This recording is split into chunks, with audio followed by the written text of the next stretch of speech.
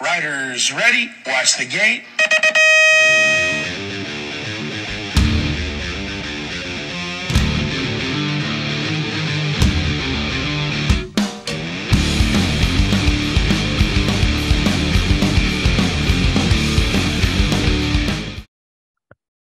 Hey, welcome back to the Dirty Knobs podcast. I'm your host, Hollywood Mike Miranda, and my co hosts are my brothers in BMX, EC Eric Carter and JV James Vicente. This episode is episode numbered one for season two, and it features uh, crazy Ronnie Anderson. Uh, hold on, strap on your Jofa, and man, this is going to be a wild one. Uh, enjoy the show.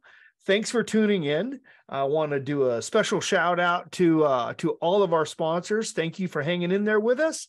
Thanks for supporting us, and thanks to all of you who subscribe. If you're enjoying this, please tell a friend and make sure you hit the subscribe button. All of our episodes are available on YouTube, Spotify, and Apple. So no matter where you get your podcast, you can probably find us. But those are the big ones. Uh, finally, listen, go to dirtyknobs.com, buy a t-shirt, buy a hat, take a picture with yourself and send it to us. Send it to us knobs.com. Same place where you go to buy those hats. Same place to find out where and what we're doing next. And we're going to have some big, exciting news starting tomorrow. Uh, we're going to start advertising for our own event. Finally, um, for those of you who do subscribe, every uh, every episode i try to pick a random winner out of all of our subscribers on youtube and send you a box of stuff that our sponsors give us the winner this uh, this episode is 732 biker now we don't know who you are so get a hold of us either through uh, our facebook page or you can do it uh, on dirtyknobs.com so anyway 732 biker congrats my man uh, looking forward to talking to you guys next time and uh, enjoy the show. Woohoo!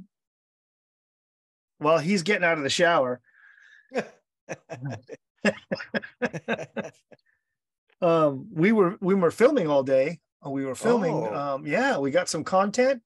We've got we filmed. Uh, we actually EC has built ninety nine percent of Oh the course for the Dirty Fest.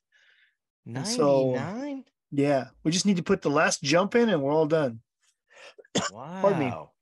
And uh, let me tell you that thing. We so we were riding it, and it was a blast. Oh, And then, uh, nice. Yeah, Mike Miller from 4416 Designs.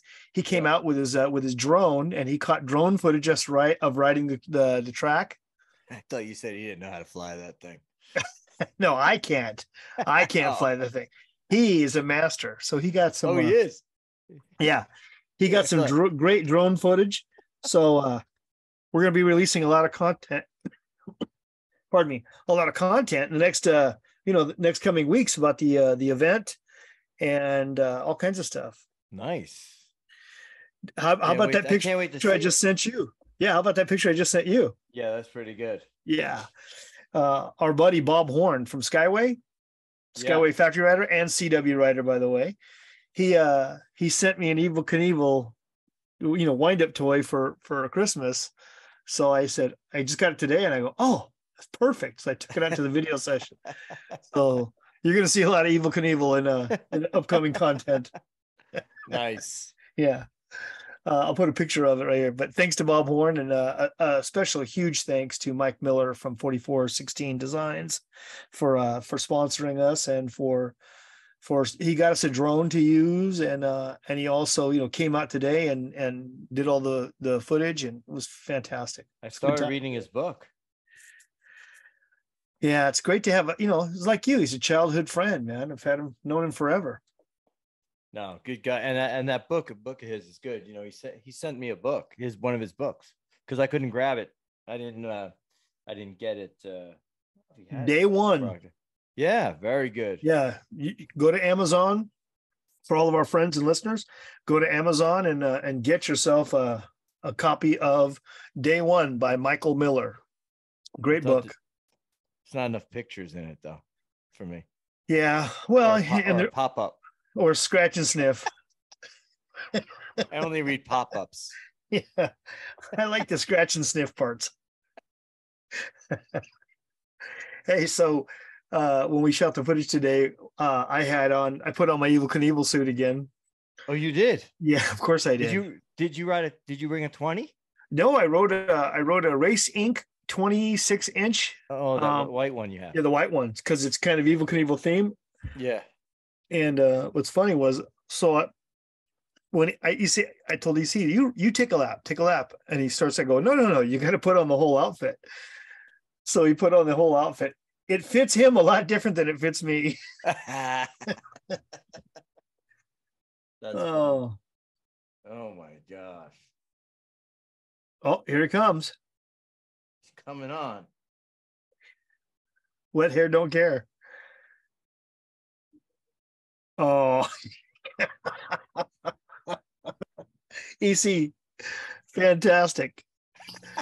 the doghouse.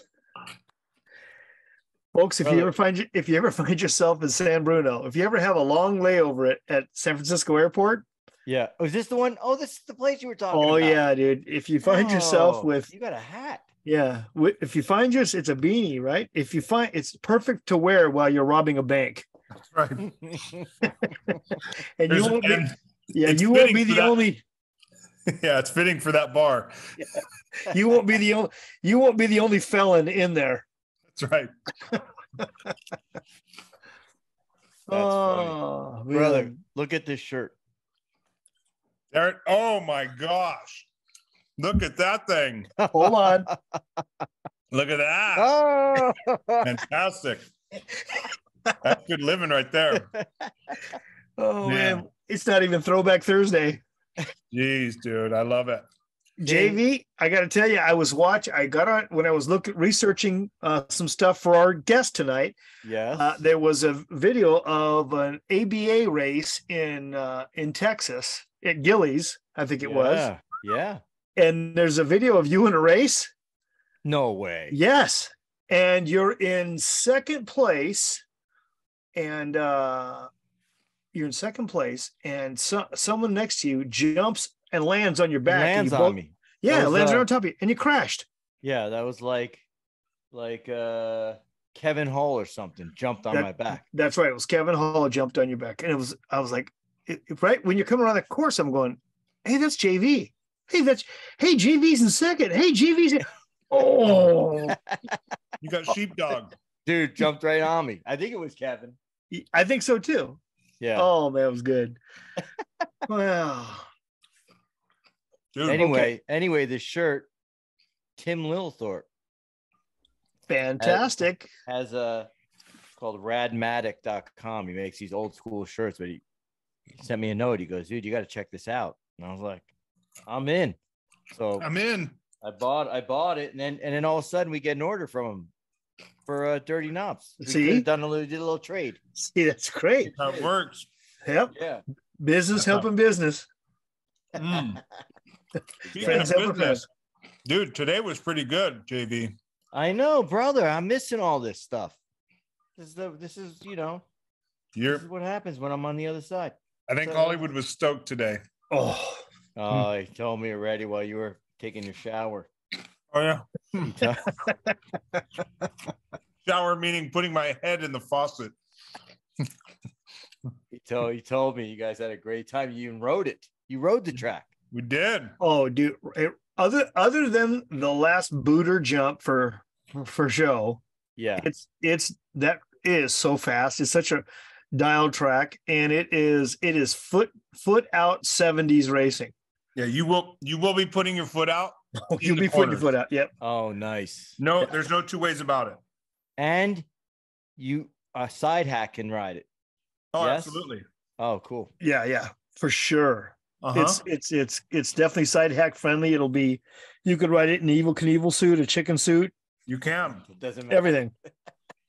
Look, Oh, Look how fast he's going, dude. And he's on at a he's on a cruiser lap. He's on a cruiser. Flat turn, dude, all the way to the edge. Oh man, look at that.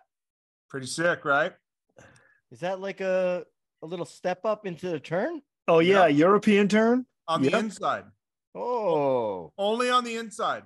Hey, can I just I want to say that the camera puts on 20 pounds.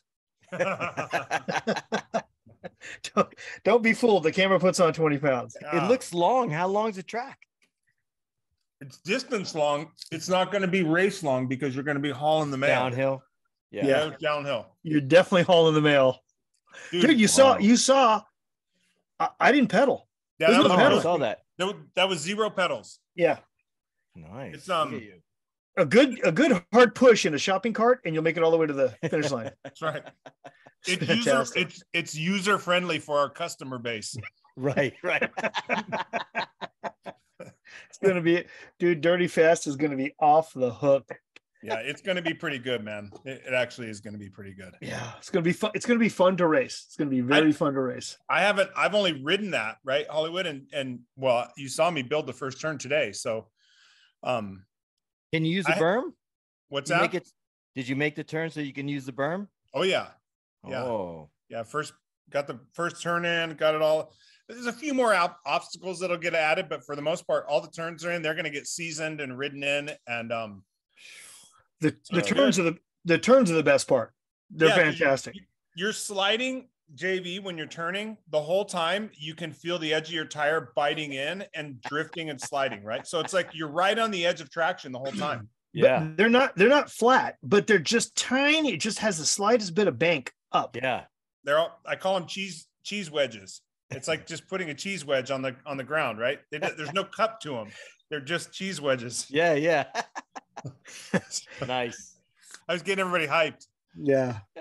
All right. Well, speaking of hype, Oh boy, here we go.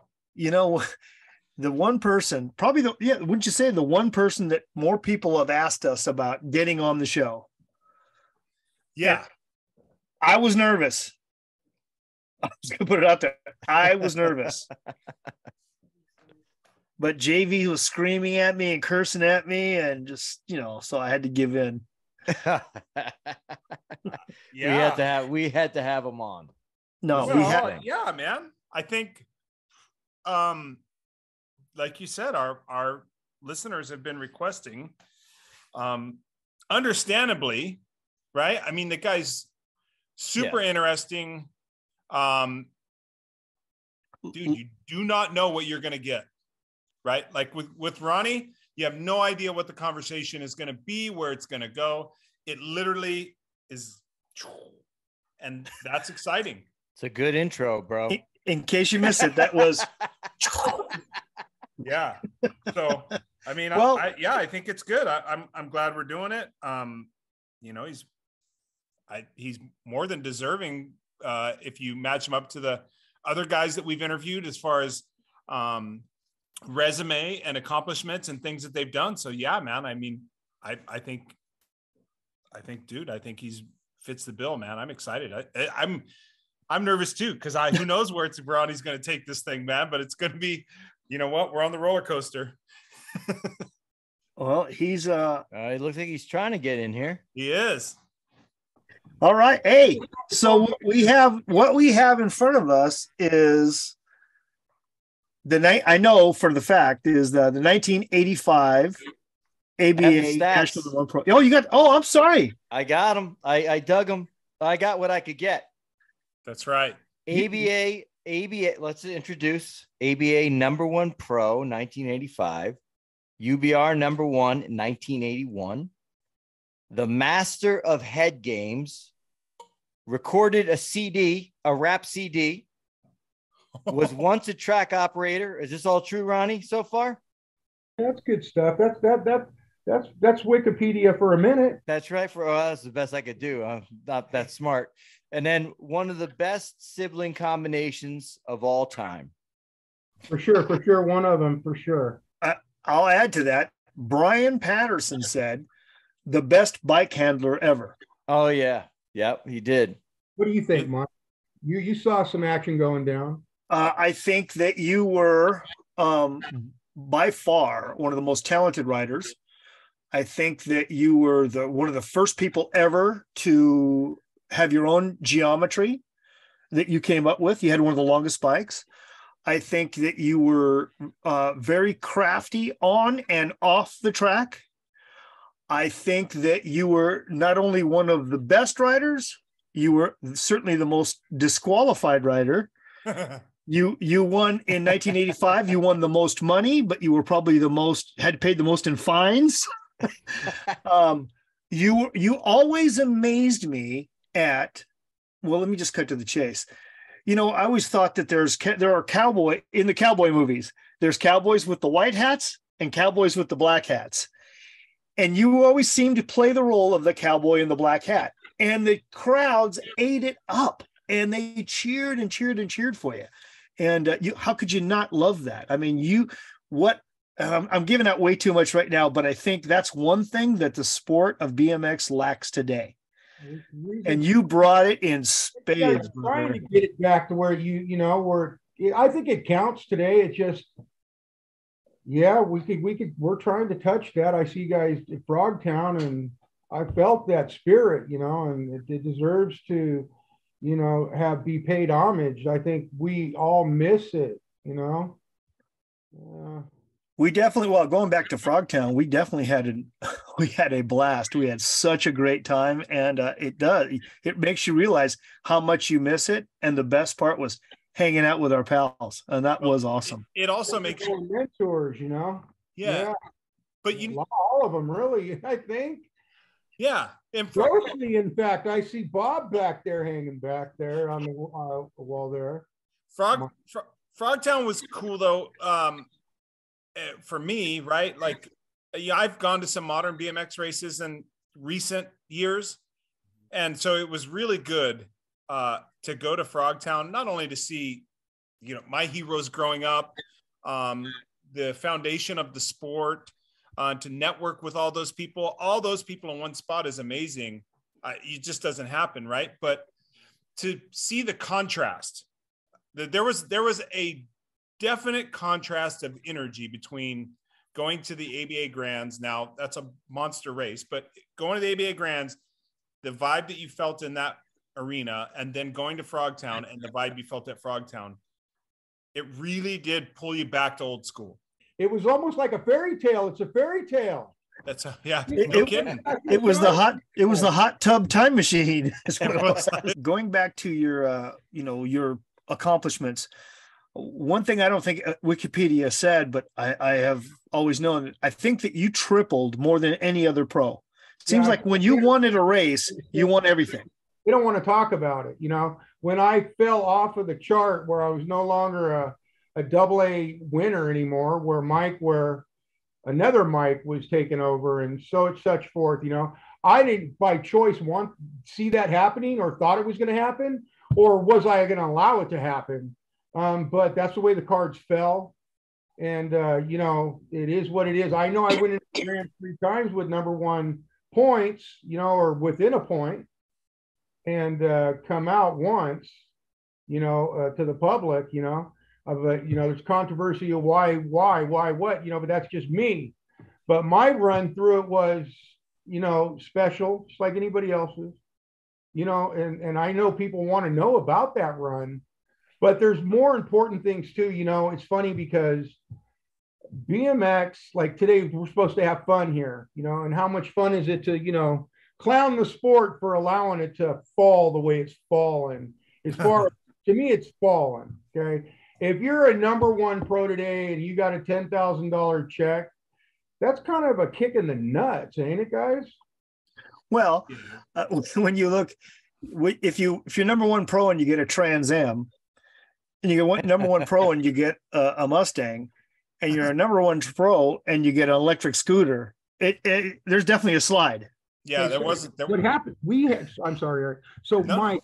So in '84, when Pete got his Trans Am, that was a really nice Trans Am. I mean, come on, it wasn't Brent's, but no smoky, but it was still. Uh, you know, this is what we're doing. You know, okay, BMX. You know, it's like, all right. right. So in '85, when we got those letters in January or we know we got them in December, and they're like, yeah, we're going to change the car to the national number one.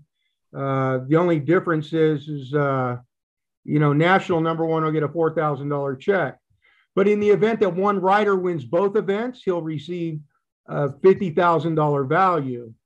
So you had to be Supercross number one and national number one, and you're like, but everybody showed up for those races until Harry, Ronnie, Eddie, maybe maybe a couple. I don't know if it was Eddie so much, but Eddie was winner too. But um, you know, Harry wanted some of that Trans Am, but he wasn't thinking about getting fifty thousand though either. He was thinking, you know, I'm gonna, you know, I remember going to uh, lunch. So B, what I'm saying is, is back in that day, BMX was growing. Okay, the brass ball was getting bigger. You know, there the bull the bull was running free, and uh, so to speak, for somebody if he was willing to, if he could do it, you know. But I'm gonna. I, I haven't decided. I just wanted that Trans Am too. You know, if I'm gonna take my girl on vacation where she's got a little belly, I'm gonna dig some holes in the sand. You know, we'll get back to racing. You know, that it's my. You know, so you know, I'm building a family, and and I remember Tammy said to me, she says, "So Ronnie," she says, "You know, she goes, you you could win both titles, and if you did, you'd win fifty thousand, get that Taco Bell you want." okay, I was like, "Yeah, that wow, that could happen, huh?" I was thinking, "Yeah, let's do that," you know so I wasn't racing for a Trans Am no more. I'm racing for 50 grand. Give me Taco Bell right. You know, I love them enchilada, enchiladas. Enchiritos?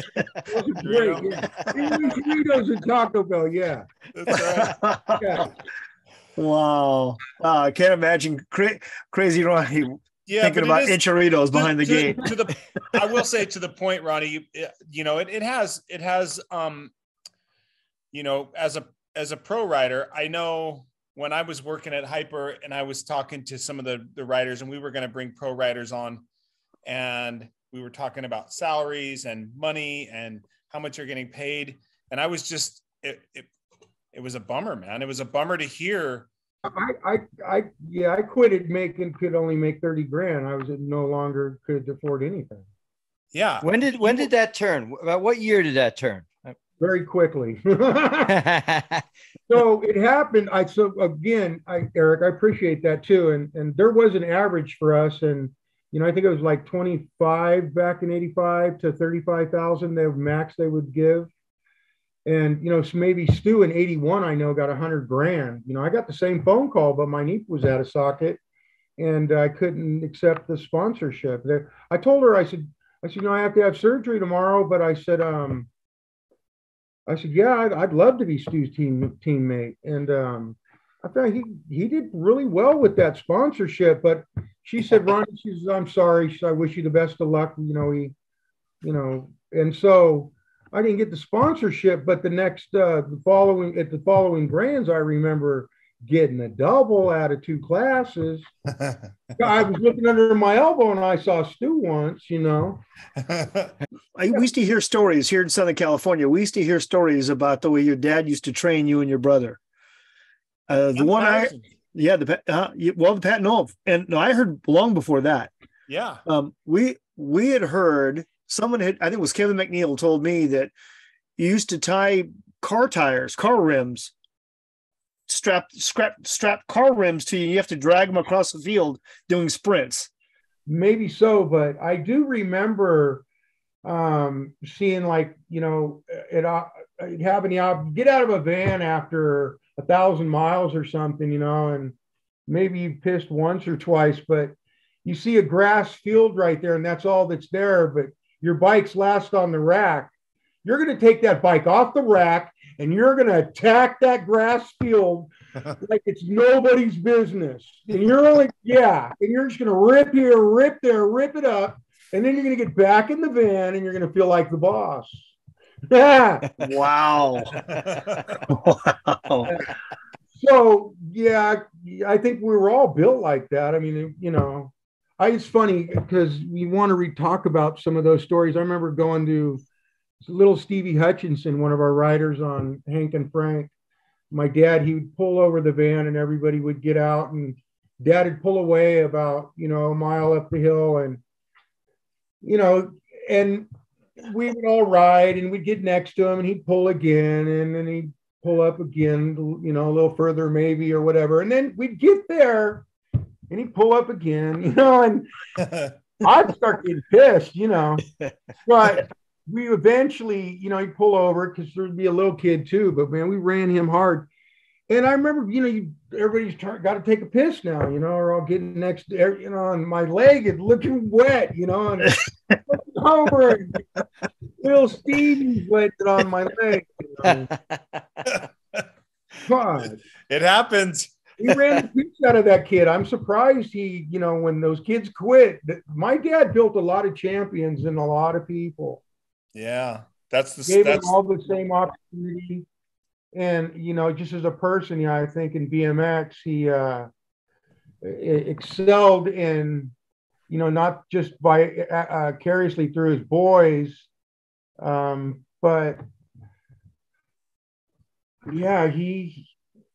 What I was going to just say about him, I've lost it. Okay, but well, I all I know is that you, if your your dad your dad trained you and your brother, and that of people do what they didn't know they could do the ability to be able Hmm. to do that and he, he kind of like a psychologist in a way and it almost wasn't fair because you would die to do what papa a asked you to go do hey, I can speak to that, Ronnie. I, I, I'll, I'll tell you, and I, I think I've said it on another one of the podcasts we've done, but at the 80, 85 grands, um, it was my first year really going for a title, and I came in, uh, and I got beat in the semi uh, quarters, and the quarters, man. Um, and the guy in front of me, uh, you know, rest in peace, Lonnie Tatton, one was a good friend of mine, and Yeah, but I like but I was ways faster than him at that time. Like when we were younger, he was faster than me, but I was much I faster. remember. I remember. Go ahead, though. Dude, I didn't. I followed him the whole race, the whole lap. Uh, so unlike me, I just followed him deer in headlights. And I remember coming across the finish line and just being like, "What in the hell did you just do?" Right. And Richie happened to be at the finish line. And I was like totally bummed, man. I was just like, dude. And he goes, Come here, man. I want you to talk to my dad. And I, and I, so I talked with your dad, dude, for probably 10 minutes. Um, and Was that the first time you talked to him? He talked was, to you 85? yeah, yeah, Really? yeah. That's Yeah. funny because I think I'd be like, oh, dad was mad at Eric. Eric's already in trouble. I thought he'd probably been talking to you for a while. No, no. I mean, I, you know, I, he was tearing on you too much I'm time, t- Eric. You yeah. get away, huh? It was a you know what? It was my first real talk with papa a right? It wasn't like a i mean i talked to him before but that was the first like real time that i could talk. and dude he got me in a different frame of mind. I went out i won my open won all the rest of my laps. I completely flipped it around dude. After But did you win the main event that day? i well i won my open main event. Okay. that's all i had left. I didn't make it out of my quarter. Open wasn't even a contingency class. It's just It- no, but it- but it- anymore?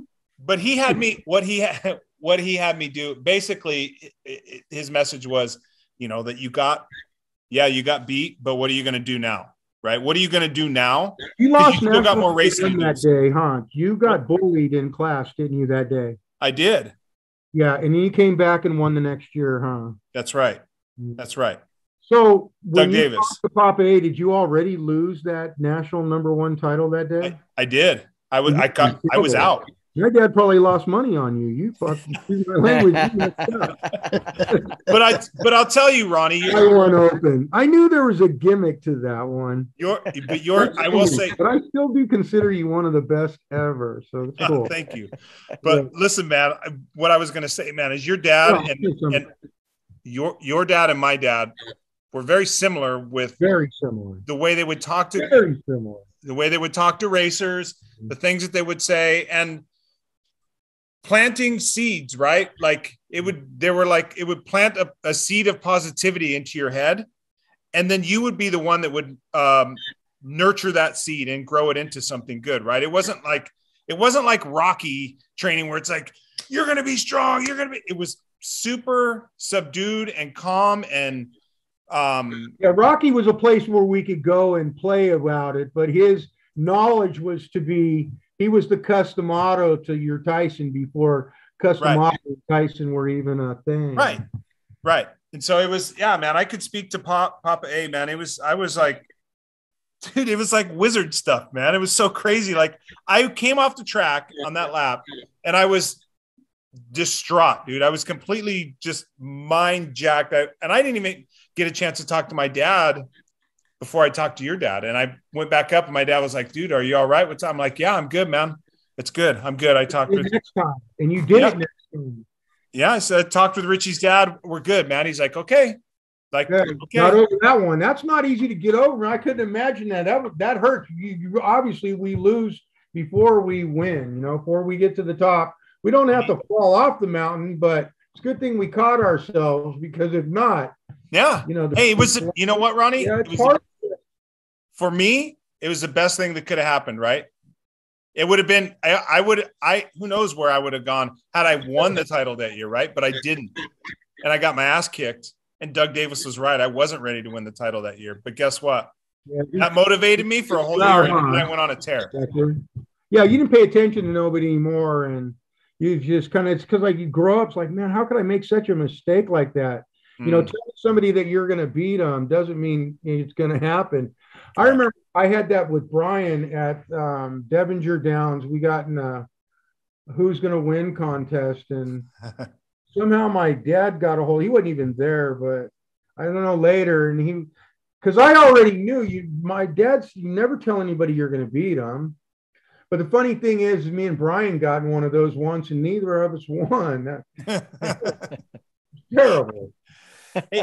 Hey, I Ronnie, I, want imagine- to say, man, I was like Mike said, I was always, I like to always watch your races, right? Anytime I knew you were going to be on the gate, I like to watch your races because your racecraft was so phenomenal, right? And one thing that I noticed about your racing that a lot of other pros didn't do, man, is you always knew where people were around you, right? And that was something that I really stuck with me.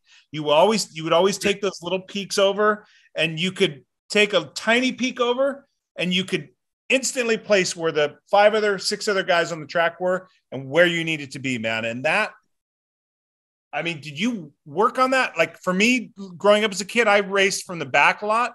So I'm curious for you, I tell you, you- what, you're exactly right, EC. I remember that too about Ronnie, always looking around and seeing who was around him. dude, he would assess. You would be going Yeah, down first totally. straightaway, down into the first turn, and he would, you could, and it was just a snapshot. He would take a look, Yeah. and the snapshot, you could see it, snapshot, and he would assess what was going on, and and execute. And it was amazing to watch it happen right in real time. Mhm. But I'm curious, Ronnie, is that from your racing growing up at locals and nationals, or is that intuitive? I mean, wh- where did that come from? Because it, dude, it's it's very unique to see that. Yeah. So I don't want to make a joke about it, but I was going to say from watching Charlie's Angels, you know. Well, from my perspective, I, I- he, what I remember the most was he would Ronnie would swing wide coming into a turn, leave the inside open, and you think, "Oh, great, I'm going to go on the inside." And as soon as you caught up in the inside, dude, he had the longest legs in BMX. He would just Yeah. put his leg out and cover the whole inside of the turn, so you couldn't pass him. And, then if you got and if you caught up to his wheel, if you caught up to his leg, he would pull it back in with your tire with it. yeah, And I was like, the first time I saw him do it, I go, "Ooh, I, I got my little, I got my little brother Tony, and we practiced that." I don't think I was a cheater though. No, that's not cheating.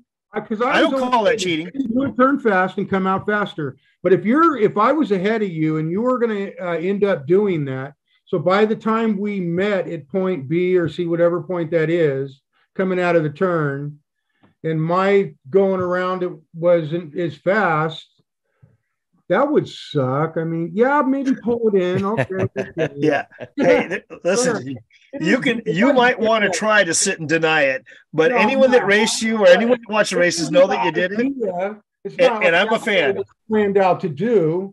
It just turned out like so. If uh, so, what Dad and to answer that question about some of that is because so when you're locked in to do something that's just going to happen, there's so uh, in some senses that there are no excuses. That there second place is unacceptable. There's some things that just aren't going to happen, and that this is how you live that dream, you know, that weekend, the whole approach to it. So there were for four years, the way I looked at it, that I knew that everybody was going to lose, and it was messed up, but it, you know, you're just that's just how this I'm writing this story. But Well, there's a lot of truth. There's a lot of truth to you. It's it, there's a lot of truth to that story. and I didn't win all the time. I mean, in our time, like for example, I used to like this one show, One Life to Live. Richie used to watch General Hospital. So it's funny because they played different times. So Richie would call me up in the morning, you know, before I'd even get training or whatever. And Richie'd say, What happened on General or whatever show it was, you know, and I'd say, Yeah, such and such had whatever. And and then he'd make bets with his friends at home that I, oh, she's leaving him, man. She's leaving him. And, you know, Rich, Rich, you know, call me back later. I'd get a, hey, thanks, man. Thanks. thanks. I, I cannot. fucking bel- with I- us, right? I can't. Yeah, I cannot believe. I cannot believe what's going on right now. This is No friggin' No. way. That's real. this. Yeah, no, can't be. No, he, he was, there's nothing foul about it. it was Yeah, fun. and we, and you guys were sitting and putting curlers in each other's hair and love uh, yeah, feeding No, each other point- ice cream. No, I, you know, there's no way. I don't believe any of that. So my point, I know, I had a problem understanding like one with somebody's pants that say Jesus saves or, and I was like, I kind of knew because I, I, you know, I, I, I love Jesus. I like God. You know, I knew my parent, you know, I, but I didn't know the whole story really. You know, I, I wasn't really so much a Jesus freak as I am today or acknowledgement of him. Yeah. But I respected that too until I, when I found out, I was like, wow, that, that was pretty cool. That was pretty cool. Hell, it's a better story than General Hospital. I'll give you that. so I was trying to get at though, I would take my recorder and I would tape my show because I had to go now, right? My show would be on, and I would tape that and I would go to my trails and ride my trails, do my training for the day, come back home, probably have lunch, and then uh, you know get ready for dinner. Maybe it was workout time. Maybe I was gonna knock off 500 sit-ups. Maybe you know, I was going to go do some starts or something, yeah. And then uh, I I just wanted that Trans Am, you know, I wanted one of them. It was my I wanted one, and so um, There, there were already three of them up there in Northern California. They didn't need to have any more up there. you guys- but that I get it. The kick in the balls is sad because it took every it took the sport down, bro. When that dream was taken, when Paperboy was taken from us, really, guys. Yeah, uh, you know, I feel you there. I, I do. Uh, I, I, I do feel for the pros. I wanted to wake up saying, "Yes, I'm the baddest man on the planet. Come take me now." You Well, know, you- if you want some, come get some. There was a time if they said, "Whoever thinks they're the most talented bike rider on the planet, stand up." If anybody stood up, I'd tell them to sit down now. I love it. I love it. Sit down. But Well, you back- I know that wasn't really true, but at some point, I could embarrass anybody in a 30 foot circle, you know? There's truth to that. Yeah. There's, there's that. Yeah, dude. There, I mean, there was there, uh, there was a there was. It up. I didn't make it up, but if that tree was there, I'd ride that too. Now today they're doing flips off the tree. I didn't have cars to do that. They they've excelled past, you know, I'm like impressed. But and I think in our time, um, you know, it was bad because it was badass because the dream was alive, you know, like really alive. And I think that BMX has gotten to a point where those tracks, it's just insane to think that that's what we're gonna do today. Money's good and all, but you could die out there on that one there pretty easy. Hey, Ronnie, you you you touched on training and going and training and riding your trails. I'm curious, man. Were you uh solo cholo, or did you have guys that you rode with and trained with, or did you mix it up? You and your brother, how did how'd that go? So I learned how to do it myself. I was born at the right time. I think that I was smart enough to know that I wasn't, I didn't, how do I say this? It's not that I, I didn't think I was the best because I knew I was the best. Okay. But, but, but, um, I knew that everybody else was better than me on any given day too, as well. Okay. So it was, there was a 50 50 chance that you know, I was gonna win, kind of, and I had respect for everybody else. Just you know, it not because you maybe somebody in the grandstands talking shit. You know, Gary Ellis and his little crews up in the grandstands. You know, I could hear them when I'm going around the track and they're talking shit. And then I know I get to race them in double A later on today. I'm like, your bitch ass ain't getting shit. and I might have had a hard lap, and I my heart might uh, my chest might have been pounding running that soft track or something for a buck fifty, you know.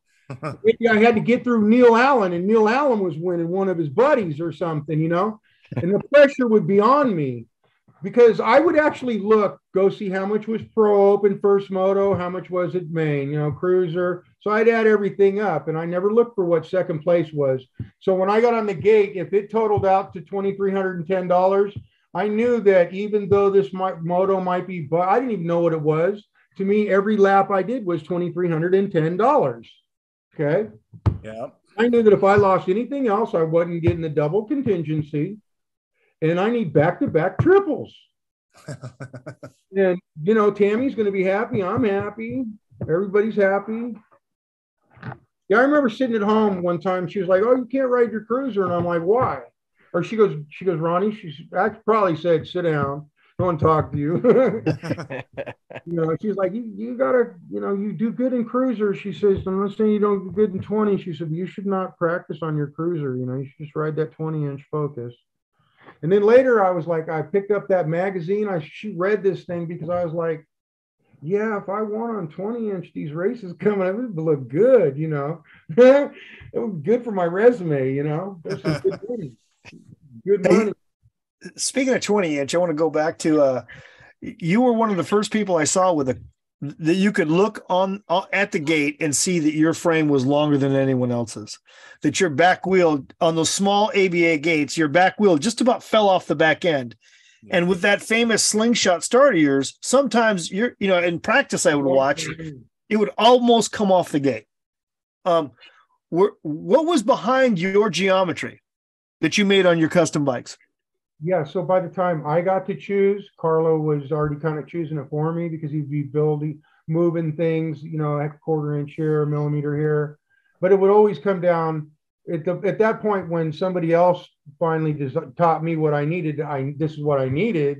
That was cool, you know, because you didn't really have to worry about that. He wouldn't really necessarily take you down the wrong road because, you know, I mean, that's why Terry was so good with what Terry had because you know, Carlos saw that in him and he, you know, lengthen this, do that, and mm. Kind of work, you know. So so you're saying Carlo from Boss is the one that really came up with these long frame designs, and it was you and Terry Tenette that really took advantage of it. Yeah, and other people too. Charles knew that, you know, that bike he had. So when he got the Rev Core, he was really good on the Rev Core. It was basically a copy of his boss.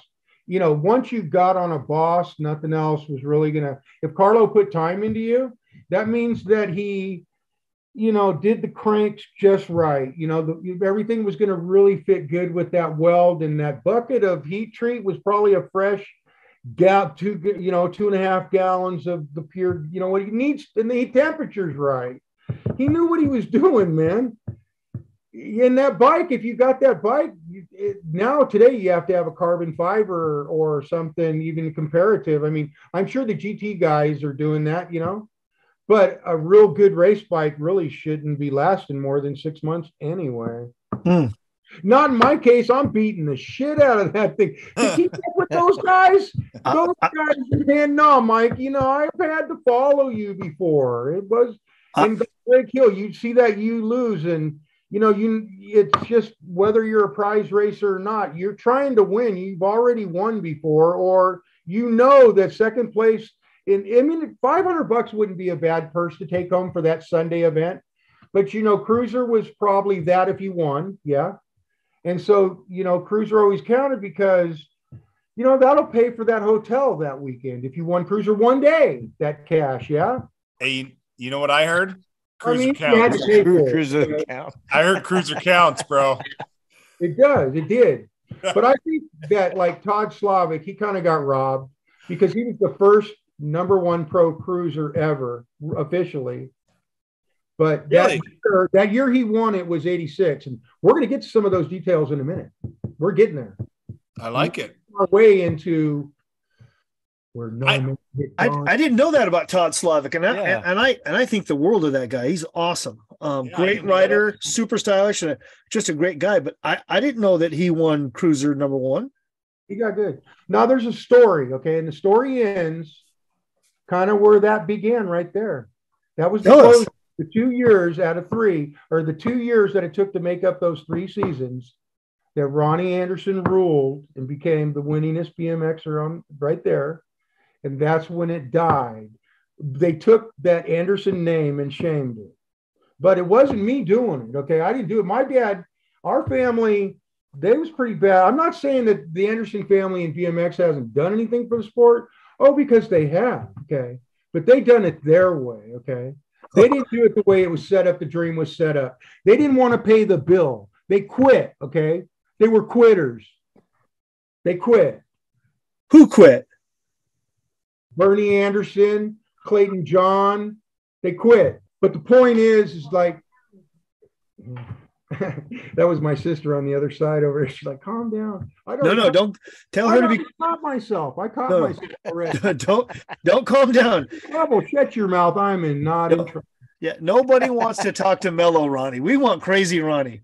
Yeah, I know, but we'll You know what- My point was my point was so we're sitting in this room. So the whole Pete Loncarevich thing, it's really a good story. Okay. The whole thing, how it adds up, is really good. So in 84, after the race, we're over here in Oregon. Okay. I'll bring it down. We're in Oregon after the race. Bob Madrano, RC Olderman, uh, Pistol Pete, and myself were uh, enjoying some uh, some NorCal bong hits after the race. Yeah. And you know, John Carr walks up into the deal there, right? So I'm trench coating the bong, like, why? But whatever. Why's John here? But yeah, I guess you can smell it. I don't know. I don't, I don't remember saying anything really. I just remember him coming in and then leaving and us smoking more. Uh, and so then uh, I remember going to the World Cup, and I, uh, you and I won that weekend. I won two out of the three, sir. Congratulations. Congratulations to you. Thank you. Thank you. I think I won $336 more than you that day. Open was, Cruiser, yeah, but Cruiser doesn't count. was 5,000. Yeah, no, it was uh, it's a great weekend. Yeah, if you get second, it's two thousand dollars. I kind of, I, I, it was funny thing because I said to myself, yeah, I kind of wonder what it would be like to get second. I didn't really mean that, but um, I do do that because I do it in another way. Whereas, if you thought about, well, if I lose today, how are you going to feel when you get home? So you really had to try to lock into focus, no matter what it took, to make it happen. Right. Well, going back to the story, so Yeah. you, you and Madrano, Bob Madrano, Skyway rider, RC Alder, RC Alderman was fantastic. A- The ACS Z Rim, com, you know, ad, The bendable buddy, put in the freezer. It was good. yep, great He guy, was Like nobody's business. RC was fun to hang around with. You know, we Dude, every great jumper. in races we would all try to hook up in Walnut Creek. There was a group of us, and we would just go ride like you guys. You know, Yep. I mean, you, was like 6, 15, 16, 17, 18. you, you, you three guys, Madrano, you, and RC, you were three great jumpers. And, and not enough people know about that about you. You're a great jumper. Okay. Is it wait, wait? That's Is that the the- uh, end of the story? Yeah. So so you're you're you're who's the fourth? yeah. Who was the fourth? I forgot. Who's this? Oh, the fourth guy. Yeah, Yeah. Pistol Pete. Oh, pistol. Oh, and so you're yeah. you're you're somewhere Yeah. ripping bong loads, Yeah. and and John Carr walks up, Yeah. and then so you hide the bong in your trench coat. I don't know why, but yeah, I'm going to hide it. I think I got a corn pipe up here too. I don't know.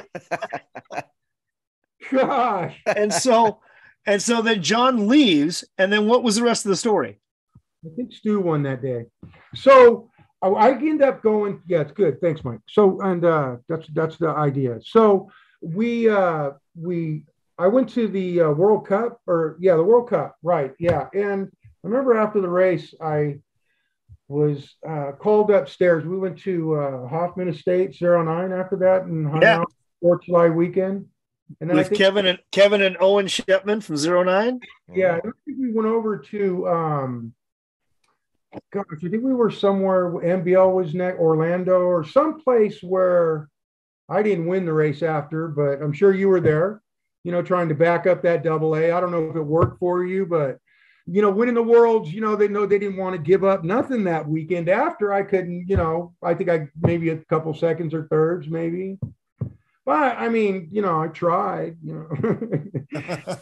but that's just it was tough. But I remember being at the office and they called me upstairs. It was like maybe say, I don't know, it was pretty decent sized place. Maybe I think at that point, no, it was a small place, but they had an upstairs. And I remember going up and uh because I just joined the team and Z- zero nine. Yeah, yeah Owen right. called me upstairs. So I'm like, yeah, okay. So I go up and he says to me, he goes, Ronnie, he says, you're not on the point list schedule here. What, what, what happened? And, and I said, well, I should be. He goes, you're number one or two, aren't you? And I said, well, yeah, you know, maybe one or two point. I don't know, something. Yeah, what's up?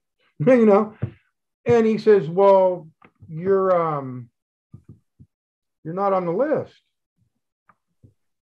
And, uh, he goes, well, he goes, I'm, I'm going to call ABA. He says, uh, I'll call you back up and let you know what's going on. Hmm. So I went outside and started hanging out, whatever we doing. I think we were looking at the pad machine at the time. It was pretty neat. And I just remember that. But um, yeah, they called me back upstairs and said they uh, took my points away from me because I didn't fill out a membership. That's crazy, man. That's crazy, dude. It's so crazy because you see now, like you can look at the points yeah. and you you can see where it says that you know member signature required on the membership like yes sir. you know but they still but they're still listed in the points. Yeah. Wow. I mean i went through an era where if you got a nag 10 in an amateur class you couldn't race pro. That was a rule for ronnie. They they they i got kicked real hard but let me let me just finish this one here. This so they took my points away. But if you look in the magazine, if you because it's in the office, that's what the shame about this all is. It's been hiding, guys. And if I don't write a book about it or tell, then no one's going to know, and they're not going to change it. A little. Well, tell us. Will go, the truth yeah. will go a long ways. Tell us the truth, then. What? Yeah, yeah. Tell us. We're dying to know. You preach my paper boy. Yeah. Okay, thank you. So, so and what happened? So, I, so so every month Mike, we get a magazine and it would say you got to renew your membership. Okay. So when you go in the office, if you go say, I need 1984, uh, need 1984, and there, it's somewhere in 84, it's going to, you know, people are going to, you know, every month, oh, I got to rejoin, you know, I'm going to lose my points. We didn't have internet then, right? Right. No. no. Nobody wants to call all day. We didn't even have credit cards, really. Everything was pretty a check and send it off. Cash in envelope, pay for it. You know. Right. At best. Otherwise, it was pay as you at the race. Yeah. Yeah. That's right. Yeah, you showed up. That's where you get yeah points. Didn't you get beat today? Stu kicked your ass, huh? yeah. So I want to make sure I understand this right. What you're saying is that you after wasn't on the list, Mike, is what I'm saying. Okay? Yeah. Well, you had so you didn't fill out your form or didn't sign it or whatever, but you'd already accumulated all these points, Maybe and then the ABA one out since '81. I don't know. you know, really, I don't know. Maybe my sponsors did it or whatever. I'm going to be. I always had a card, you know. Yeah, I, listen. I don't remember ever filling out an ABA form or NBL yeah, form. I, I, think our sponsors always did it for us. Right. Mm. But my point is, I want to make sure I got this straight. What you're saying happened was that you're a professional racer and you're you are doing well and you have accumulated a lot of professional points and the sanctioning body decides because of this this uh, small infraction or you you missed some detail or didn't check a box that they took your that they took your points away in the middle. Yeah, yeah. So that's what happened. Wow. So then I went on to win the next races of the year. I think I got second behind Pete or something one time. I always say that because sometimes I would win like five events and Pete would win one. I didn't always get six when I was hot, you know. Wow. Um, well, I, Sometimes- I, I do recall. I- When did they Yeah, do that to you, you- Ronnie? Did they wait? What year was that? And and how long into the season did they wait to like? So they told, so I knew that they took my points and we had more races to go. It was just the, the world champions just went. So I went on and won pretty good. I did some more wins and stuff. I thought, well, maybe, you know, if I win the grands, I could get an attorney and we could get this thing fixed, you know, we'll, Yeah. we'll fix it. And so I was five minutes late for signups for the grands that year. And uh, they wouldn't let me sign up, man. Five minutes, bro. Clayton said, "No, man, we shut the door, bro." Man, and then Wow. I got to watch.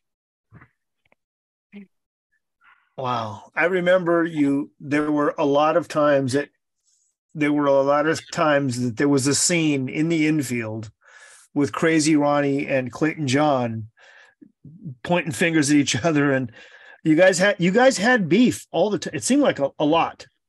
Well, I don't know. You know, as a racer, you know, we cross that finish line. We're out of breath. We're trying to move along. We're we're prize racers. You know, we're racing for the money and fame and glory and the women.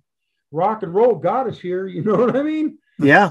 it was, you know, it was good. I used to love being on that plane, put in that cassette. It was fun, good stuff. It was. It was. Yeah. Well, a- again, I just, off that jet lag, go Yeah. get some sprint on and be, get start getting ready.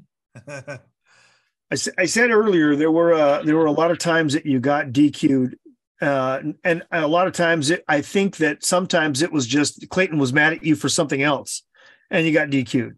Yeah. There were there were some times that there were some questionable calls made that we the other pros would go, "Wow, why would he get DQ'd for that?" A minute ago. Yeah, I would. So I remember it's not just so much that I don't know as, as I look at Clayton, just because I, you know, painted the picture, I'm ashamed of what he did. Okay. And what they did. And it's like one of the biggest, uh, I mean, I'm telling you, the clock, this is where the, the clock got broken. This is where it's beginning and the end of it was for me. And as, as BMX as we all knew it.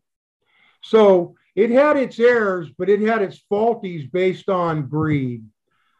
You know, it's sad to say, but I'm just going to be honest with you. I really think what Todd Huffman's doing, even though he's coattailing that insurance, that they're not telling him anything. He has the opportunity to give back to everybody, make these events pure, get them motorcycles, get them cars a couple times a year, or whatever it's going to take to make something, bring back that spirit and let these kids have it what they deserve.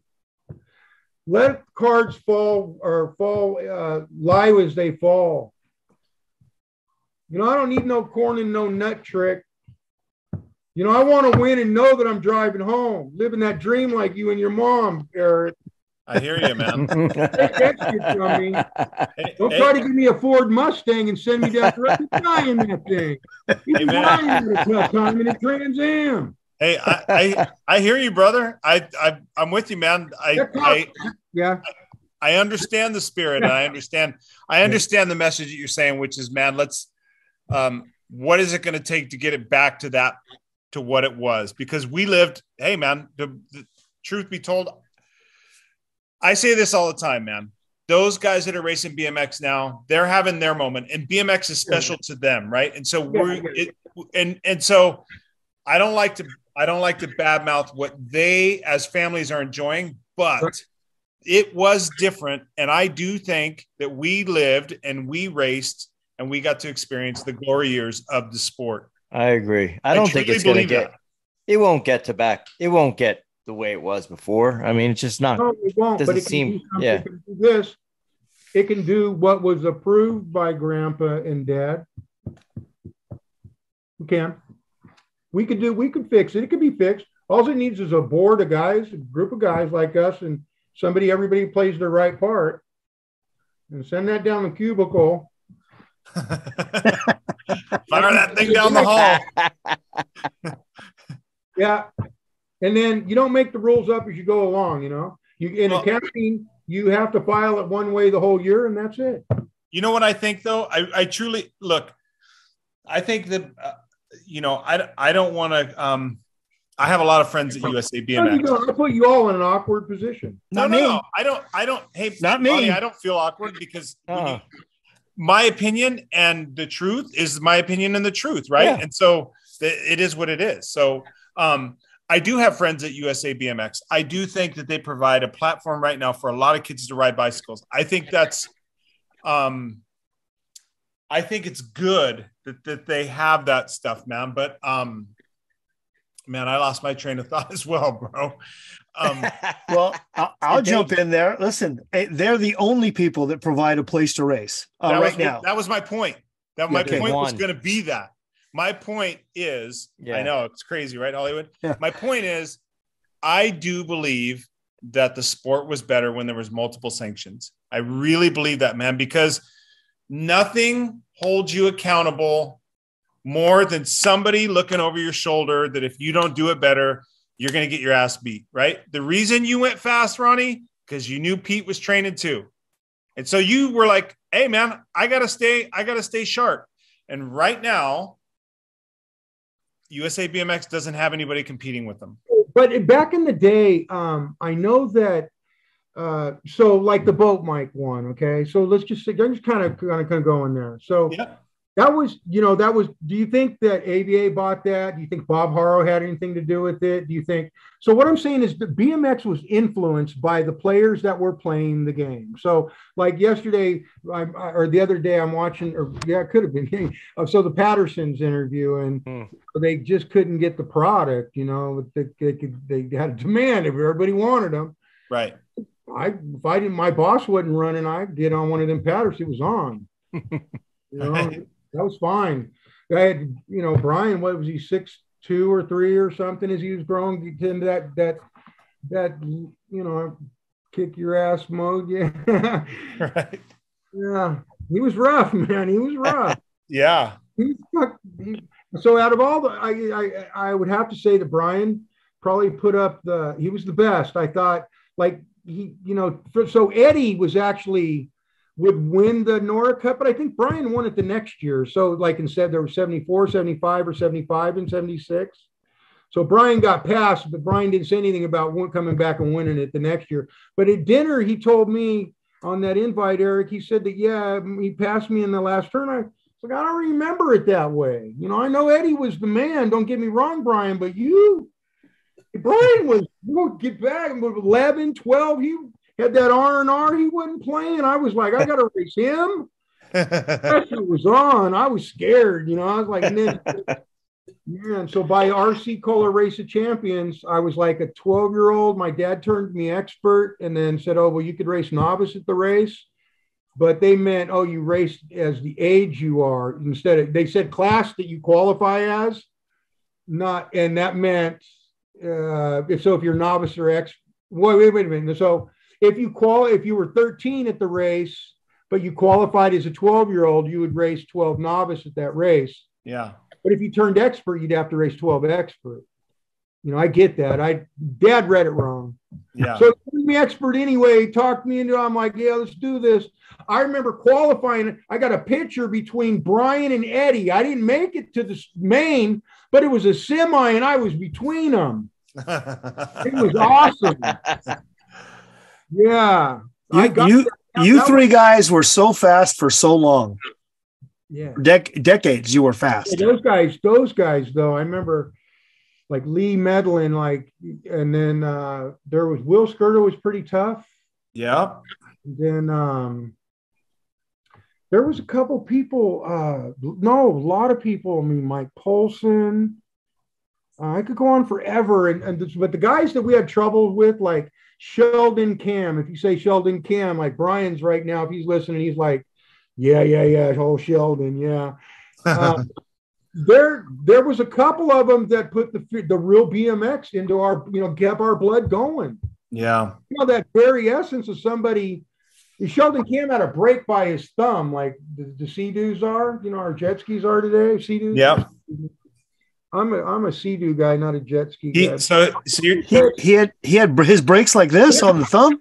Really? The brake was on the thumb. Of course, you. I guess you don't need that anyway. The brake, you didn't really. You weren't going to go any faster with a brake on. Crazy.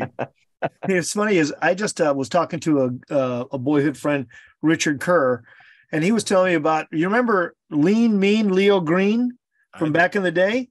He had he had on his old Torker. He put a motorcycle throttle with the brake cable going through the motorcycle throttle. No, he would. Yeah. I, I asked Richard, "Are you sure he did that?" He goes, "Yeah, he did that. He tried that out for a couple races." I was like, "But why? But why? Why do you have your thumb Yeah. thumb brake? Why? Why?" Carlo and I developed a fork one time where it was supposed to be like a shotgun where you could lock it in gear, the forks would go into each other, put you four, four to six, eight inches ahead, right to where the wheel would back to the frame. You'd be in lock position. You could back up, get that slingshot way back, get comfortable back here, get a little balance, hold the brake, and then just take off when you wanted to go. And then when you got there, you could in the gate drop, you could smack that handle like pap and knock that fork into gear, uh, whether it be a spring or a CO2, and lock it. And now you's already, you know, six, eight, ten inches ahead of somebody pulling, you know, That's crazy, man. momentum, you know. I mean, how that's the only way you're gonna beat that sling, get that slingshot today. Is where it would be effective today is to just back up and pull your best Sean Texas turn the bar. Sean's already turned. Yeah. Yeah. you know, hey, Mike, you, somebody used to just start sideways, put the wheel here. Hollywood was. Hollywood. You were you were the sideways starter. Sideways. What are you guys doing? And, you know, and I sat on Sean's bike too. I was like, this, that's why, huh? I think I thought about Sean. If if you pull back and then you turn your bar so your wheel is crooked and you keep going straight, you're you're taking up four inches, right? You're getting four inches head start. Yeah, no, I, I saw that. I think you explained that to us. So I don't know. Why. I don't, I don't know why you would run your front wheel crooked. Get that concoction and any advantage in BMX is that's what you're look. You're going to need that. Yeah. You're going to need that. That's, that's Well, so- was was your advantage what was it ever an advantage for you before right before the pro main, the last pro main, you would always ride out to the first jump, Yeah. do a do a 180 on top of the on your back wheel and then ride back down. I could get disqualified for this now. Remember? So, on, on. so the reason why I brought that up is because Carlo had this spring thing, and it went through the center of the head tube, and then it split on the forks. Okay, went down the forks and came out to this uh, uh, where it was. So the fork was three quarters uh, chromoly, weighed two and a half pounds, and then it was all aluminum, like space shuttles guy did it. Some space you know, CNC stuff. And it he did it like a rear end of a motorcycle where it just kind of cocked in and then um it worked that way. The But- fork flexed. You're saying it went down through the center of the tube and then just split in the fork like we always wanted. Wow. You know, today that's the thing. Like they just had like just had a little guiding with a couple of those little rollers, you know. Perfect stuff. well, speak. We'll have that. These guys will be springing around and just getting a flip, bro. Like a flip. there was there was a few things that were just crazy Ronnie signatures. And one Yeah, of them sure. one, Get out there one of them was to always go in front of the main yeah. in front of the pro main Yep. and do a, a do a we you know a little 360 on the first jump, come back and get in the gate. Yeah, so I was trying to sell you something, okay? I knew that not everybody was going to take it and buy into it, but I was trying to scare you into thinking, you know, you was already going to lose before you lost. Well, I just remember uh, sitting in the gate at Gilly, I think it was Gilly's, Be real about it. and you It's did it. You did the pull it 360 and you fell. And I was, I, I can tell you, that was the biggest distraction for me because I was like, Okay. yeah, man, I, I probably would. I only try it. Some, you know, if it's not respectable, I didn't try to play that. You know, I mean, oh I, well. I got my bike stolen from me one time, and a guy said to me, and I heard him say, "Oh, I didn't steal your bike." He says, "No, I wanted to race the best," you know. And I thought to myself, "Bro, not only do I know you stole my bike, but you knew I'd kick your ass anyway. You know, I, That's you know, that person, that person, yeah. Yep. Frank knows I'm telling him. He don't like Well- the whole thing about the bike thing, but there was a few people that stole my bike that weekend. So shame Hmm. on. them. Where was had that, Ronnie? where, where was that at, Ronnie? Yeah, I had to race Richie's bike and freaking I high load, man, and freaking because I was on Skyway then. And so I did a high low on Richie's bike, and then Brent somehow leg slips over and elbow hits me, and I get squirrely. I was going to go right by him and win the worlds. I remember coming across that finish line, and Brian and I were just racing hard for third place, and I got him though. His brother won the worlds. I got third on Richie's bike. Those guys stole my bike. They don't like this story, but you know what? Fuck them. And and I'm tell you this though, because I remember being in Fremont Raceway. I had my head down on my pad, and I looked over. I remember Carl Cleaton from Vallejo. He had was putting on my sprocket, and he was using this drill to make my uh, Redline cranks fit. And um, I remember looking over, and I'll tell you why he did that. Frank Frank ruined his career based on me, if you ask me, because he just was an idiot. Frank Post? Yeah, just he more talent, so much talent, but just dumb as a, just stupid. Right. And you thought I was stupid or in stupid here today? No, hold on, Frank was another level. another level. And I that's funny because I don't. I'm trying to push at it because uh, it's live for us, not Memorex, you know, and it's exciting. that's how we're delivering this, you know. It's the truth, and it's fun. It's good. It's a good story. Well, I'm I'm I'm, I'm I'm looking down. I got my head down, and I'm looking at these pranks. This is two weeks after the the, the Tropicana, and I look down and I see that drill hole that ah. Carlo missed and put on there. I was like, because I was there watching it, and I saw it later, and I saw him got my head down, and there's my cranks. and and whose bike whose bike was that on? Cranks bike. It was on Frank's bike. Oh. We get there, we get there, and I remember driving into the Tropicana, and you had to drive around. They drove around, and all of a sudden they stopped once. Somebody got out of the car, took my bike off the back of. They said that the bikes were slipping, so that's why they stopped. Okay, I mean, yeah, I was smoking. I'll get. I need my medicine now. the point is, they get out, and then we get pull up to the front. And my bike's not there. Oh, They sold my Oh. for the race, bro, to have money in their pocket for whatever they were doing. So it was more than one person was in on it, but there's those are the ones that did it. Hmm. It's, fucked, up, but it is what it is. man. They they were afraid to race me. You got jacked, bro. Wow. They was afraid to race me. They jacked you, Ronnie. They jacked me. Shit. That's just some of that NorCal love. Yeah, it's NorCal love. So what happened was the reason why uh, it, it gets better, but the reason why that Frank Frank kind of did that shit. So I was I'm 15, 16 years old. We're at Crazy Course Campground in Cameron Park, Sacramento, California. Uh, 1981. We got Ozzy Osbourne, Crazy Train running, and uh, I remember the race was the coolest. But I remember the night before the race, I was walking the track and this girl come up to me and grabbed me, man, with one of these powder puffs. And she took me into the tent, you see. Frank ended up finding out. I don't know why we would even say Frank found out because she's 15 years old, bro. You know, what is he, 19, 20 at the time or some shit? 27, 30. Trying to claim all the women on the track. Yeah. So I thought, I, I mean, if I would have known this was so and so's girlfriend, that would have been nice to at least know that that's who was giving me the bobos, you know.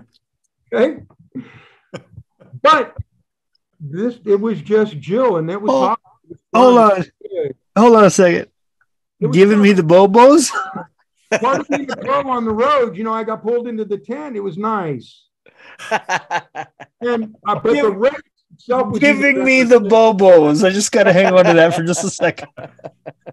because I got a story at the Worlds the night before too. It was great, great. Couldn't have won without it. I couldn't go on without it. God bless you, Paul Gosrov. Oh, so good. Oh my gosh. In the boss van. It was a boss van story. The Oh, I imagine man- there's some. I imagine there's some boss van stories. I Dude, if can. that boss van could. Everybody talks about the SE bus, but I'm telling you what, man, if the boss van could speak, I think it would give that SE bus a run for its money. No, I think if the boss man could, if the boss van could speak, it would cough. It'd be coughing from the smoke. I, I I mean, we had fun, and of course, you know, we got we did get lucky. There were some goggles out there that you know loved us, and it was fun. It was fun. You got your share. You got your share of bobos. Yeah, I told John Cruz the other day. I said, I said something about a motorhome and bringing some uh, goggles, and but I said full of goggles, full of goggles. An RV, it'll be fine. It'll be fine. So good. Oh man. It'll be okay. I love it. I love it, man. The details. Well, hey, I so, we yeah, go ahead. go ahead. I regret that day doing that because that that that even happened. Yeah. But um, my point is, is that he took it out on me from every day from then on out.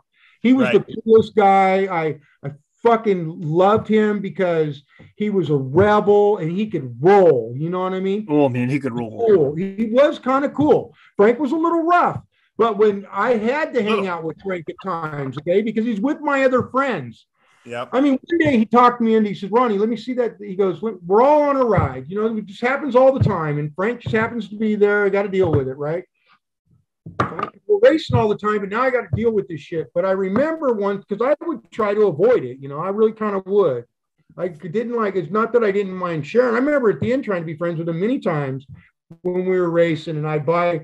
I'd buy I'd buy him a bus ticket to come with me. Maybe it was even after these after some of the tough times We'd get to the hotel, and before I know it, I'm looking at a screwdriver, thinking wanting to stab him. I'm like, fuck, I got, I, you know, I, I think I'm leaving 50 bucks on the table and telling him good luck. And I go get my own room, and you're on your own, buddy.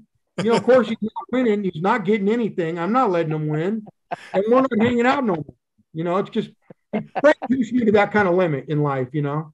Dude, I I remember Person, I'm sure that you know he kind of regrets it too that Ronnie has these kind of stories, but you know, fuck, I don't. I'm not trying to open up all the closets, but uh, that one there is kind of funny at the end of the day. But Frank, Frank was the baddest. Frank was the baddest for a minute, and then I think if he would have wouldn't have took it out on me, his that little you know girl, he would have went a lot further. dude, I remember you guys crazy. I remember Then he didn't buy me after that. Once you fouled me, he grabbed my Walkman. I let him use the walk, look at the Walkman, brand new one of them silver thin ones, you know, headphones. I probably got ACDC in there or maybe Def Leppard or something. And he looks at it and he goes, hum. And he just hum, throws it in the air. Oh my gosh. Wow. I'm like, nigga, I won double A last week to get that. Wow. Dude, I saw I saw you guys at a race in uh um Ja- Janesville. I think it was yep, Wisconsin. it was, and you guys took each other out. I didn't take him out. He stopped me from a triple, kind of jumped off his bike and grabbed me. y- And he Yes. ran down the track and tackled you. Yes, I- Oh, I couldn't God. believe it. Utah, he did so he did that to me in Utah too. Okay. I was there for Utah. I saw the Utah one.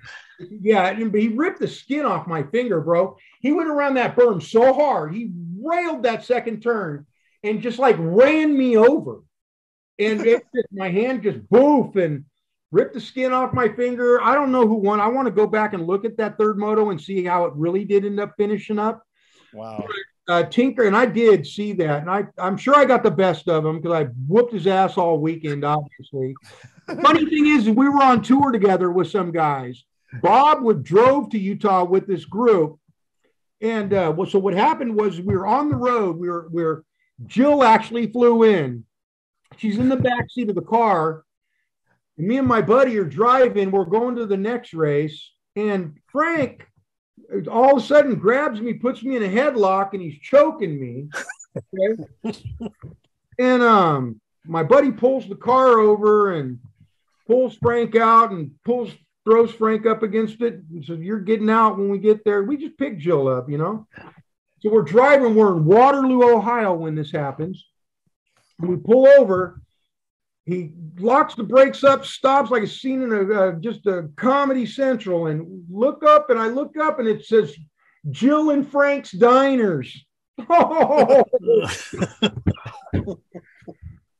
we kicked him out the car. kicked him out the car. Mind you, I paid for everything we did on that trip. Gave I gave the guy extra money to go home for gas. I had a good. We had a good finish to, up tour. We had a good time. Man. But I always wanted Frank to be there. You know, just at, at that level, he was just a cock block. Well, that was the thing that blew me away about that Janesville deal because I think you guys were traveling together. No, we weren't. Trust me, it only happened a few times. I mean, I don't mean to be condescending about it, but fuck, yeah, he was he was a bitch. you know what? I'm not afraid of him today because at the end of the day, my foot's getting fixed. You want to dance? Nigga, we could put some gloves on and go to the middle of the cell. I'll straight arrest that boy with a right and left. Oh man, I love it, dude. I, I, Hollywood, you got to oh, bring boxing that. gloves to Frogtown. Exactly. put gloves on and let him watch me. And I think we should, you know, really, because when you think about it, there's a couple people I'd like to punch in the face too, but you know, you got to have cojones enough to put a, you know, like man up, put the gloves on, right, and then go yeah. get it. Oh, come on. Clayton's old now. You can't punch him. Oh, come on. back then, I did. I kind of did. I even Bernie was too old, so he's older now.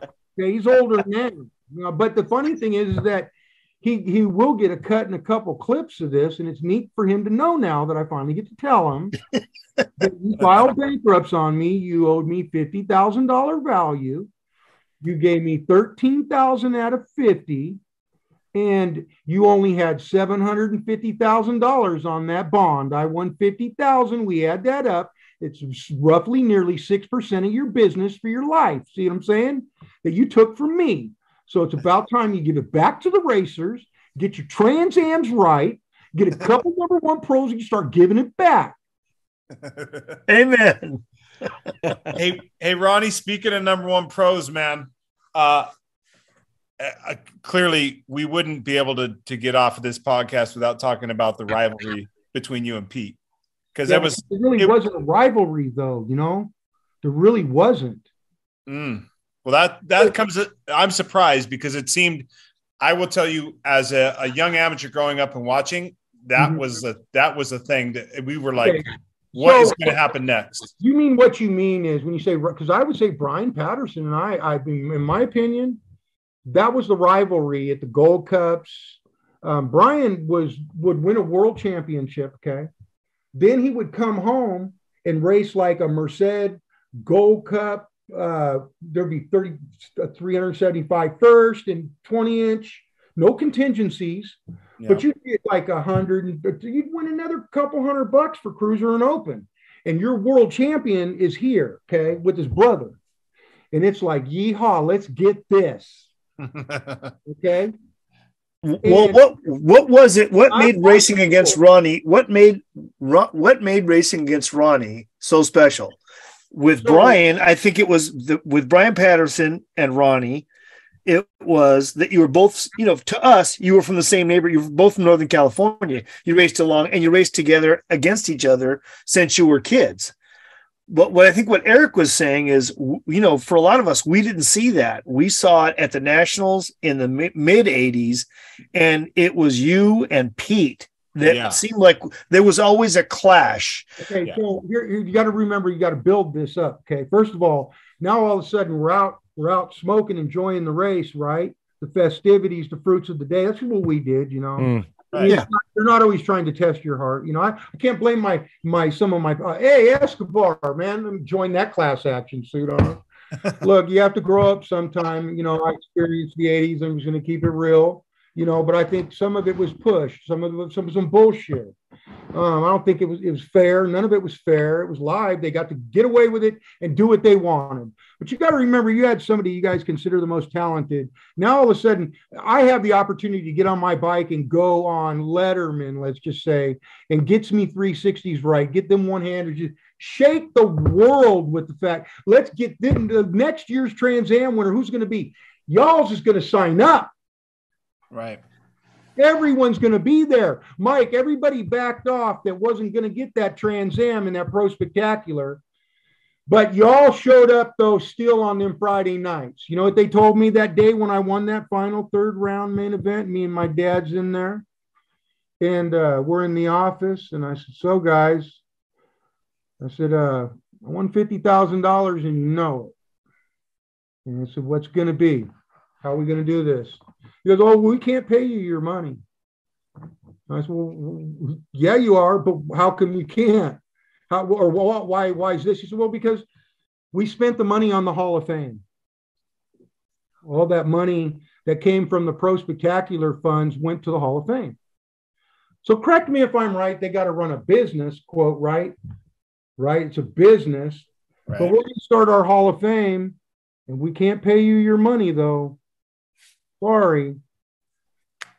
And so I said to him, I said, look, I said, I'll tell you what. I go, really, all I want is a Trans Am convertible, red or T-top, I don't care, automatic, It's so I could I could see my girl's nails on that shifter, you know, for her, you know what I mean? well, that's all I could see, you know. That and the Taco Bells, right? that and Enchirito. Sure, fair enough, fair enough. Fair. That's so good. It's the good things in life.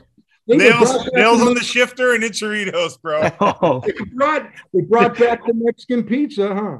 That's Washing right. it down with a 7 Eleven Slurpee. yes. And that was the best, Mike. We could go in there and and see how much contingency money we made, all Oz and everybody. Uh, let me just say, I I used to love going to Hollywood to go ride the Hollywood Hills, to go to go train up some of those steep hills with Crazy Ronnie, and uh, that was it was an intense workout. And you know it was all you could do just to keep him within eyesight when crazy ronnie would start sprinting up these huge hollywood hills. And so a few times i went down there and and, and rode with him. And uh, and one time we went to a, a, out in front of a bank there was this huge ledge and ronnie bunny hopped it and it was it was insane um, and later they put it, I think they put it in the magazine if I remember, but yeah, yeah, yeah. it was the world record at the time, but Insane. We were doing 41s, and this was before uh, uh, Showtime, because I think he was getting like 52s. Now they're getting like what, like seven feet or something? well, I don't. I don't know. All I know, all I know is what how whatever they're doing now it doesn't matter because that was up onto a concrete bank, and if you right. didn't make it, yeah, you would you would just break your frame in half. Yeah, you were hurting. Everything wasn't going to work out. There was no take two and exactly right exactly right but my favorite part my favorite part of going up there to train with ronnie to ride with ronnie was for him to tell us the stories about who came into the seven at who came into the 7-eleven that he worked at that that week. And i mean uh i mean madonna had a crush on him. Sandra bernhard had a crush on him. That it was fantastic. Yeah so um from any given day, you didn't know what was going to happen. It depended on the shift that you had, but what an experience it was because in, in interacting with people, they had a little thing where one, the manager actually had a, a, tape and it was called Cups and Cups of Coffee. And um, it was piano music, you know. And uh, we got a Vans billboard down the street. And uh, Dugan was on the team then. And I remember I was actually sleeping above the 7 Eleven, you know, for a minute there. yeah, you know, up there with the asbestosis. yeah, remember days, oh, they're not supposed to hear it on the radio. You're right out there, you know. No. There asbestosis last night. No, I'm fine. But I can't. oh, yeah, I'm fine. Dude could show up in the morning and we, you know, we could we could take down a couple of those that, you know, and uh man, it was fun working there. But yeah, you never knew um, who was going to come in and the experience that you were going to have that day uh, in Hollywood. That was fun. I mean, and there's so many that I want to talk about. A couple that I want because I'm going to have sometime. I just like you, Eric. You said that uh, uh, well, yeah, every one of these stars that I'm going to mention, they were doing the same thing, just not at the 7 Eleven. You know what I'm saying? And, you know, so we're talking about pot, right? We're smoking a couple a couple fatties in the bathroom before work starts. Okay. we're at the rock and roll 7-Eleven. And um, so, but uh, yeah, my point is, is that um, from any given moment, like you could have a thought. Like, so I remember one day i'm sitting there and I'm thinking about, I'm thinking about uh, James Brown. All of a sudden, James Brown walks in. I'm like, what the what? Okay. and so, like the day with Madonna, um, I remember I see Sandra Bernhard. I'm walking out. Eric, you came that day. Yep. So me and Biggie are across the street, and uh, I think we went into the cooler and made some sandwiches or something. I don't think he wanted to smoke with me. Yeah. you just made But I sandwiches. remember we went outside and we're sitting in this parking lot. Now it's a car, a Ferrari store or something. But we're sitting in this parking lot, and Eric looks over at me and he says, Ronnie, he goes, he goes, could you imagine if we saw Madonna today? I looked at him and I just said, you know what? I go, stranger things have happened here. I don't know if I opened up the gate to it or in, you know, what happened, but I know I just know these things, right? That you, you put it into the possibilities, it's done. Okay.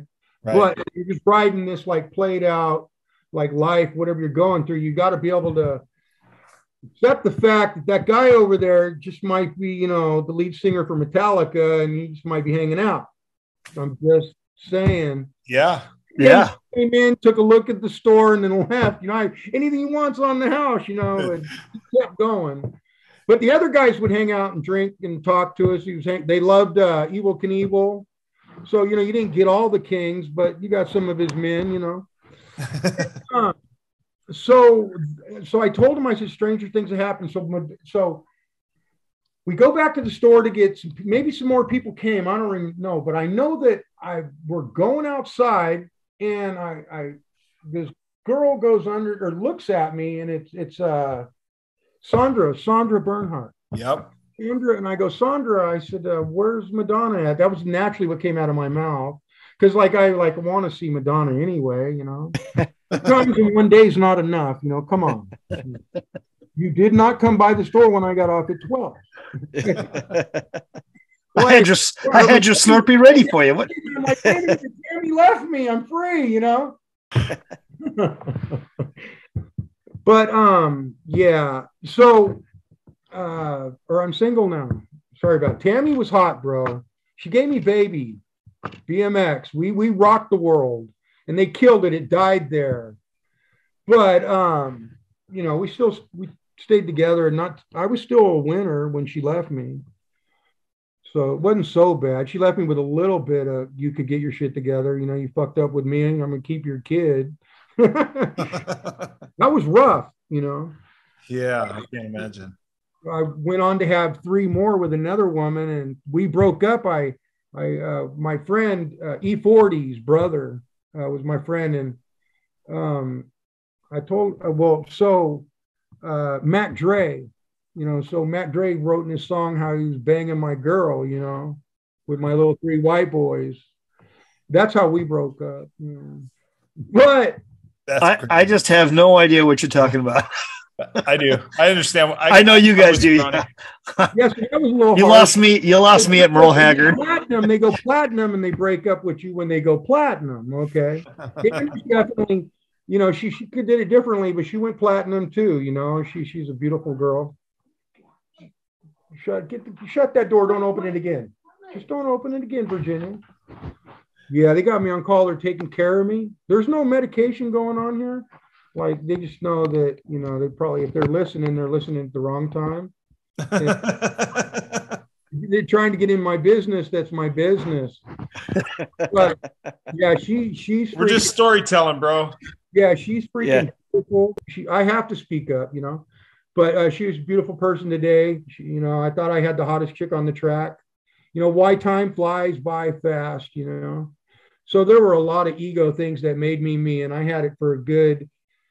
You know, I think Mike, uh, uh, you know, you guys were all rough on me, um, but I know uh, during my heyday before ABA did their shit to me like they did, you know, BMX not only was it the baddest place to be, but um, I was a BMF, a real BMF.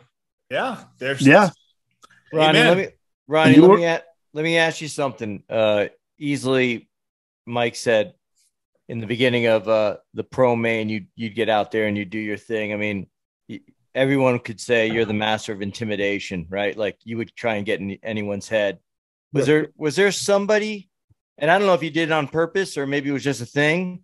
Was there anyone that you almost found it a challenge to try and get in their head because you couldn't get in there? You know, it- depends on how you look at it because you got to remember by main time you're dealing with some guy, some lunatic that's got an ego that's going to raise this roof and go on to into the next plateau. I mean, we're we're living the dream here. You, you're trying, you know, so it's hard to say. Like I had to humble myself, but every one of them scared the shit out of me, honestly. I mean, I had you. You got you got. I mean, can I name a gate at a national in 84, 85, or six? Yeah. double A that wasn't exciting. Oh, they all were. I mean, it was awesome. dude. yeah, I know. I when you guys were, I I know Oh. me, man, uh, being, you know, 15, uh, 14, 15, 16, and watch it. I mean, it was like, man, I couldn't get enough of it. Right, like it was Watching just a pro main, Jesus. absorb, absorb, absorb, study, watch the best dudes, man. Because I, I mean, truly, my goal was like, someday, man, I want to get there. I want to be, ra- I want to race those guys. yeah, yeah. and and it was just phenomenal to watch the battles the and the details in the like the little things that people don't see the little body things the little body checks the elbows you know an under elbow or an over elbow uh, tucking it in so it's it's locked and loaded so that when someone does make contact you can push them off little things man that and i would study you guys because you guys were the masters at it because the, con- the the type of racing we did in those tight corners and and tight confines. yeah. There was so much little jujitsu going on in every corner. Crazy.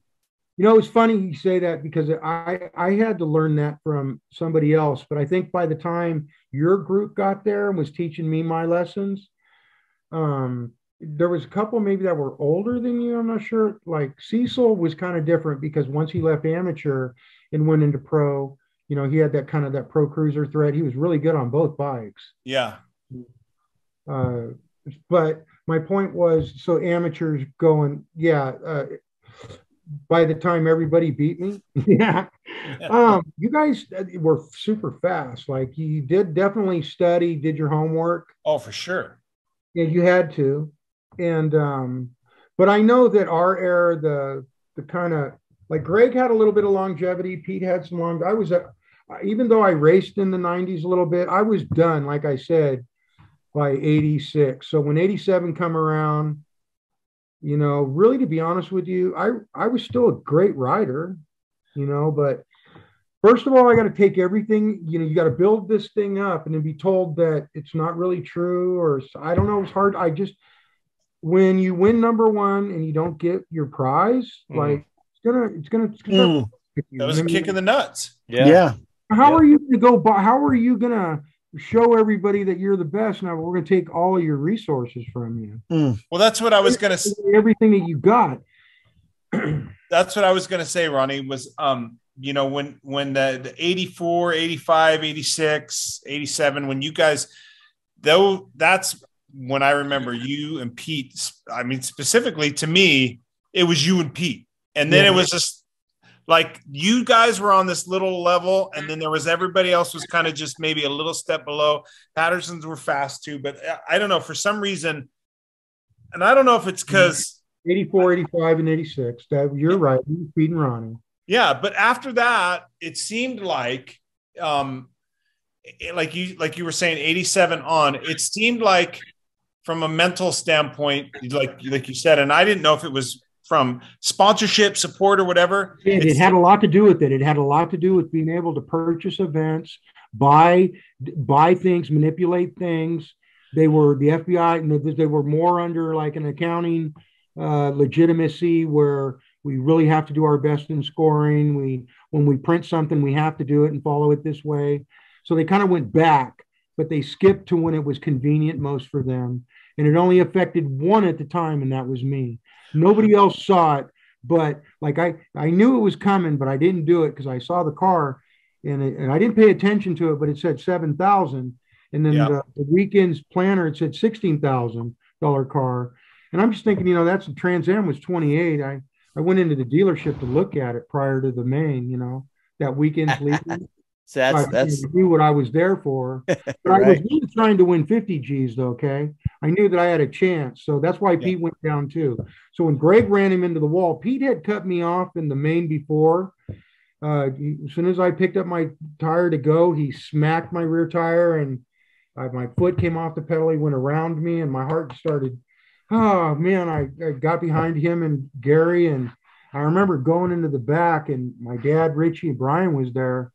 And they had my legs up on the wall and Richie's massaging my legs. Dad's checking my heart rate and he's talking to me, you know, and he's like, uh, well, my so my I my point was Rich uh, Brian says to me, I said to Richie, I go, Richie, can you go find out what lane I got and can you tell me what I got to get to win this thing?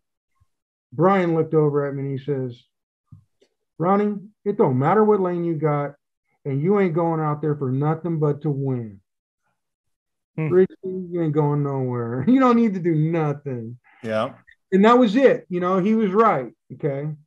But I remember one time I was getting in my. I'm, i hope I'm not missing the point, but um, if, if you want to can help me with that. But I remember one time I go into the third round main event, and they say Anderson lane. It was lane three, and I go up to get in lane three, and Eddie King goes to get in that lane. And I said, "Well, Eddie, you know, I, I got lane, I got lane three. ABA turns around, they, they make a big thing about it. They put me in lane like a lane five, and then they didn't like lane five, so then they put me in a lane seven. And I think I think that was I, I don't know if they pulled that shit on me in 85, but I don't think they made it that difficult for me to win the 50 grand. But by the next year, everything was faulty and foul. So in 86, when I had my big rain, and then went to that final. That final was tough because, I mean, of course, I lost Sean Texas, and I go to we're going down the straightaway. The only way I could lose is if Sean Texas gets a sixth place, and um, Sean gets a sixth. You know, that's after they added races, and Pete got that extra win. I think he won three races that year, and two of them were that weekend that I didn't go. Right.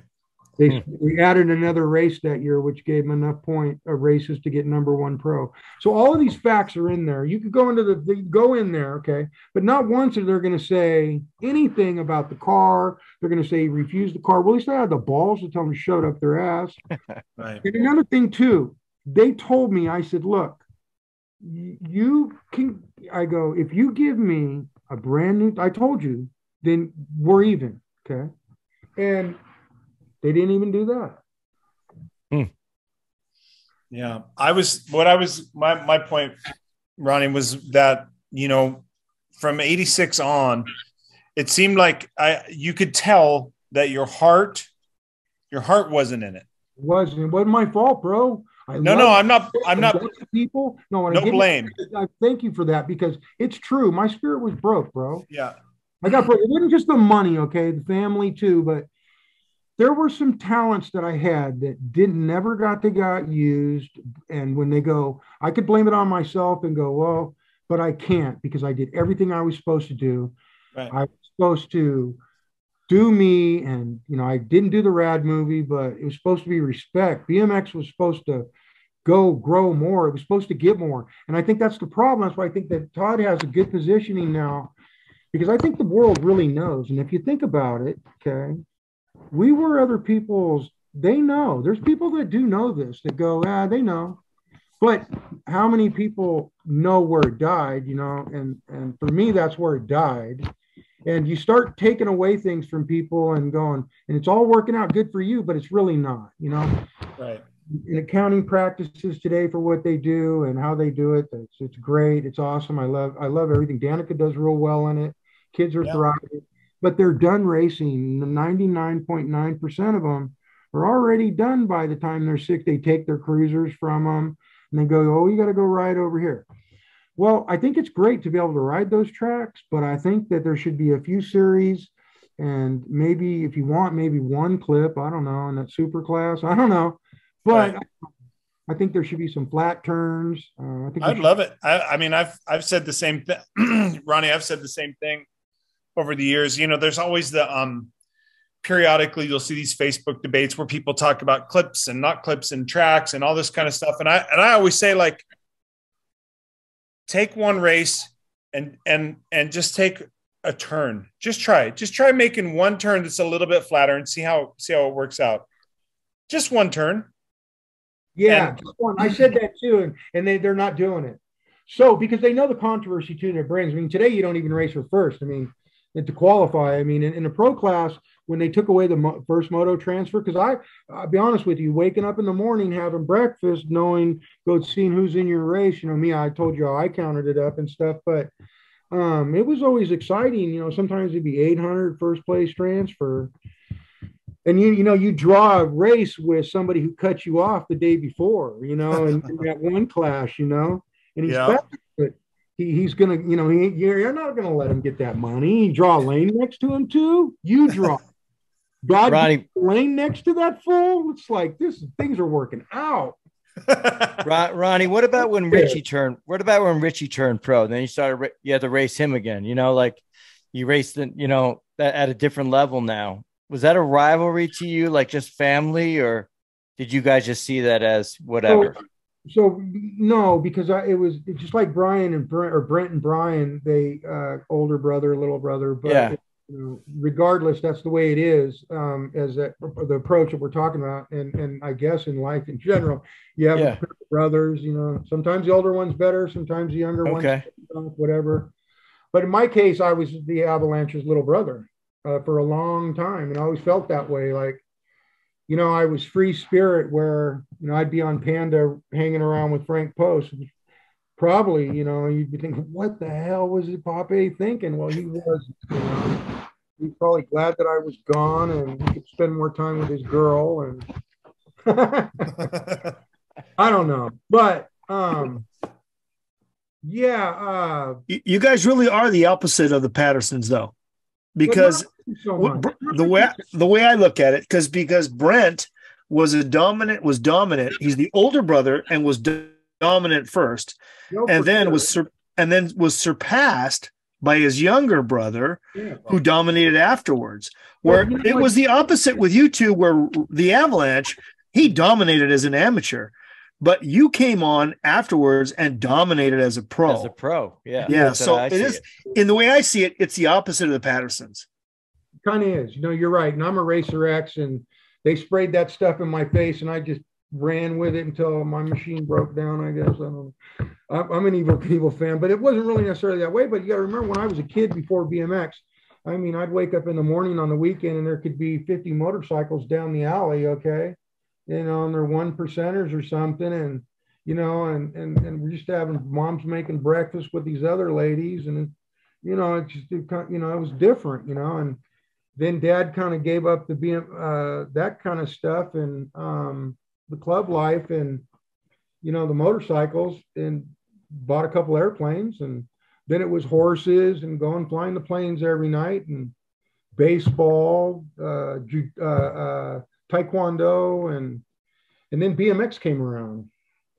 And uh, so you know i grew i was like already kind of we were still going down you know on that motorcycle every night 80 miles an hour down the parkway was fun bro.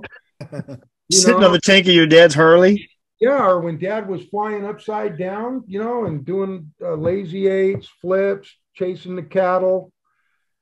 I mean i told him i you was out of control dad. He said no i wasn't. I said yeah you were. Walked his- the wheels are turned to where in the 150 and the plane's just going like this and he, he dude, those were the eyes of a scared man.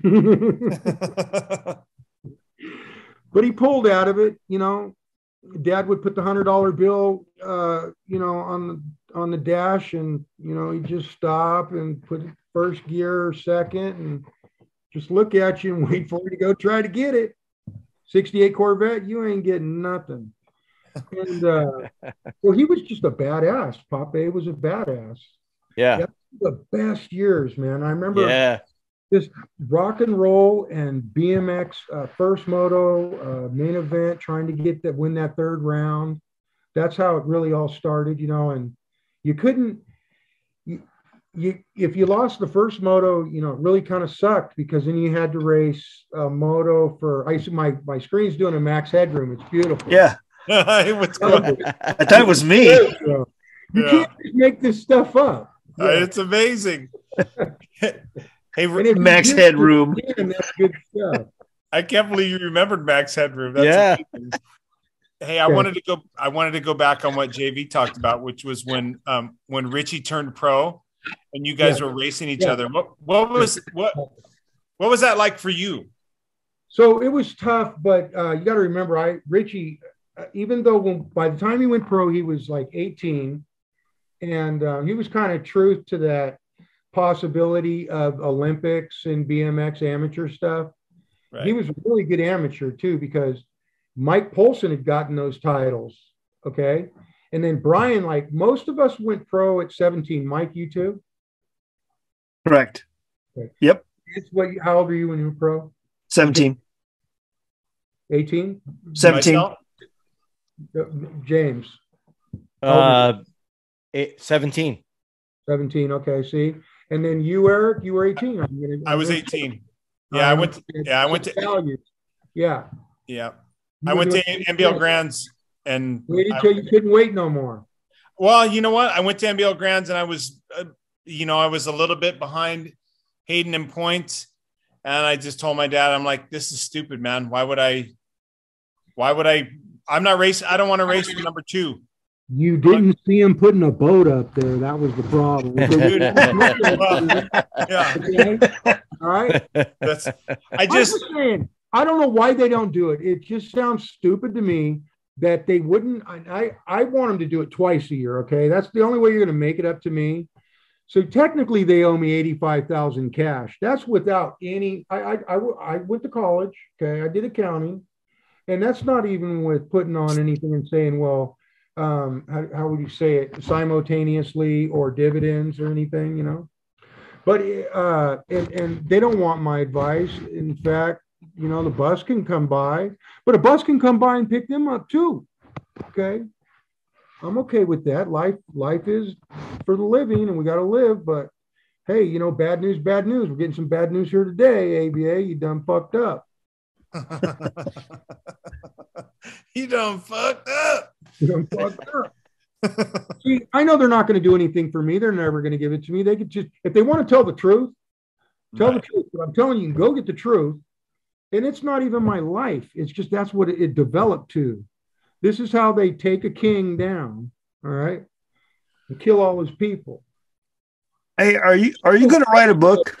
Are you going to write a book? Brian Patterson. He killed the dream of being a Brent Patterson.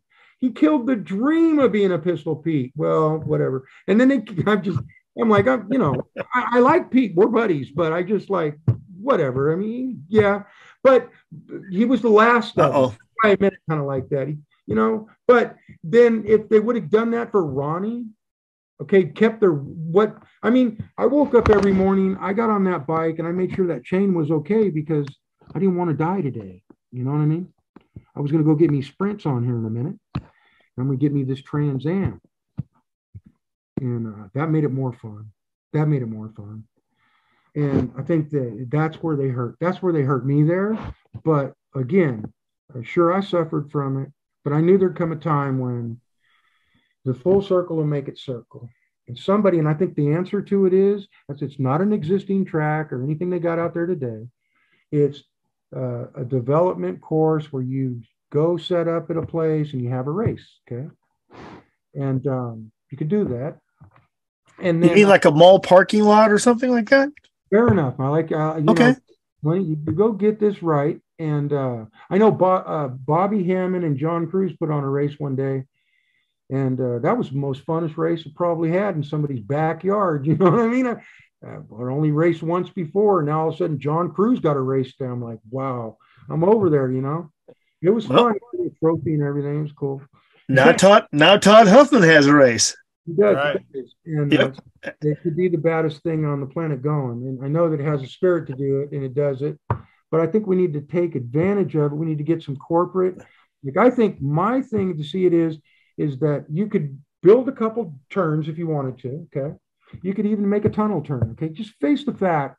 If you have, you know, maybe I- did just guesstimate. So uh, I, I'd like to say it's say a three-year contract. Why would you do it in one year anyway? You know, you're looking at corporate monies. Maybe we get three million a year. Okay, what are you going to do with that money? Well, if we could get three million of it, and how much are you going to spend in marketing? You don't. You know what? Look, man, that's a business thing. I don't want to go into that cor- that part of it. But, but the point is, um, if you get the monies right and get the prizes right, uh, get the get the format going, it could get bigger. And I think the way it could get bigger is network TV should have like Discovery Channel should follow. Okay, so we come out, we have the 74 challenge or you know the real whatever the little bike stuff.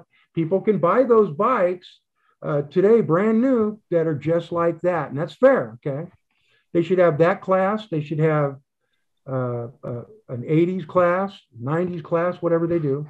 Now, how do you give away those that those prizes? Well, if you have one pro class, you should have how many classes races are we going to put? How many? What do we got to give away? Now, if we're giving away Corvettes, you're going to give away four of them, five of them. They're eighty thousand apiece, four hundred fifty thousand dollars. Right. If that's where the money's supposed to go, put it there. Don't line your pockets with it because it ain't going to be there next year. You're not going to get the contract next year. I, that's where I think the, whole thing. That's why it fell the way it for the way it is the way it is now. Now, when the Olympics comes around, and you talk about Connor Fields, you're talking about a different breed. Uh, they're the greatest athletes probably on the planet, but I think we were too. Okay, I think we had a time of our lives, but I think our times, you know, I think could it could it could it work for the the new school? Well, I think it's going to work for a lot of people that you could you, you could have a certain amount of races and change some of the stuff.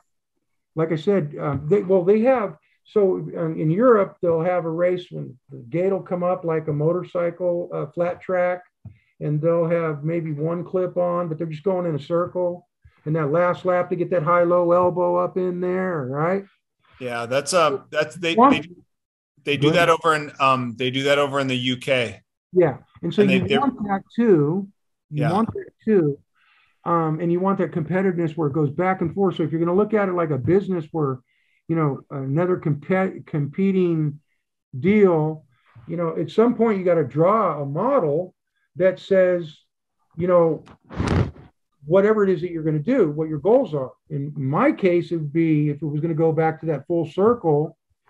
Um, even if you couldn't do this twice a year, uh, we're not saying we're going to give away Corvettes, but at some point, um, How about Chevettes? We'll give away Chevettes.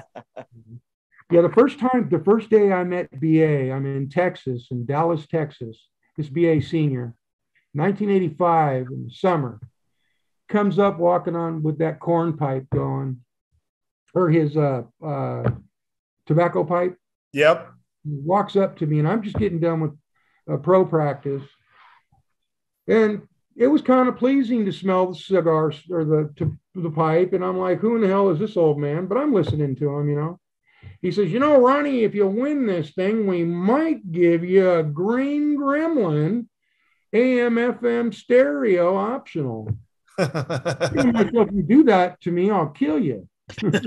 I don't know him from Adam, you know. green, a green gremlin. AM FM. Optional. That That was an upgrade right there. That I respected. That was funny. And I Yeah. the final Right. kick of the balls before it really came down. I didn't know that they were after it as just a business and to take everything from everybody. I, I didn't know that that was going to happen. I mean, you know, whatever it is, I'm sure they give a lot and everything. It wouldn't work if they didn't give something back to the people that are doing it, you know. Right. But it's all gotten down to tax write-offs, how many bike companies, what they're doing. It's all a, a money thing, you know. And they lose money to make money. I understand. It's just, that's just business. yeah. Well, it's But, still uh, in my case, in my case, it's really going to cost you, and uh, the reward is big. And uh, they don't they don't want to be around anymore. Than they're done really, if you think about it, because you got BA out there, gray hair now, junior. He's been around there doing it his whole life. Okay, he got his braces off of me, you know. Oh man. Well, listen. Uh, it, it, the, what what the product there's the product that they're putting out is is like EC said, they're giving kids a place to race, but. There's a place for the old men to race now at Frogtown, and we really had a great time. We had a great time at Frogtown, so much so that we've decided that you know, Ronnie, you probably don't know this. We've decided to put on our own our own event, our uh, a, a Frogtown like event in Southern California. We're calling it the Dirty Fest, and we're going to have a vintage bike race with a bike show and a '80s party and a and and there's Yeah. event there's I think there's one event for sure for you, and that's going to be the Foot Down Championships. Yeah. I think Ronnie would crush it in the Foot Down I know. Championships. Yeah, Pete wouldn't have cut me off. I had respect for people out there. I lost respect for Gary for the same kind of bullshit because when you're going for a title and you're not involved in the title, you should stay away from everybody and get out of the fucking way and let them battle. I that's what I say. And if the number one's pros going faster than you, just move over and let them go by. Okay. You'll get your chance to high low them and elbow them in the next turn. You don't want to just outright just cut somebody. run- It's just that's just not. It shouldn't be a style. It's really not our style. We'll we'll get you. We'll set you up. We'll let you go by so we can high low you. You know. L.A. is like Stewart rode different. He would wait for you to catch up. He'd hit his brakes. You'd run into him and he'd take off.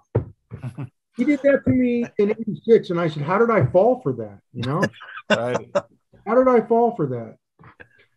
So he was actually still good at that at, at the later ages. But yeah, take going back to where we started, racing Richie, uh, uh, uh, James. I apologize. We No, So Richie, um, I was actually good by then time that time, but I was earning it. I think this is when Mike and I had battles too.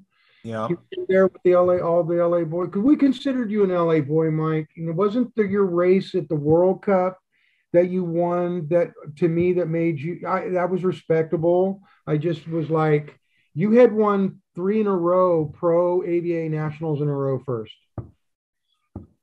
and it I I was like, oh shit, Brian hasn't done that yet.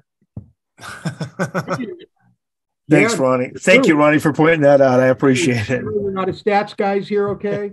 But um, hey, J- JV's never read my stats on the line, so it's, good time. But yeah, you, you had done that. You were the first one to do that. And then I went and won 10 in a row. yes, you did. That record didn't get beat and until Sam Willoughby, 28 years later, and he won 14 in a row.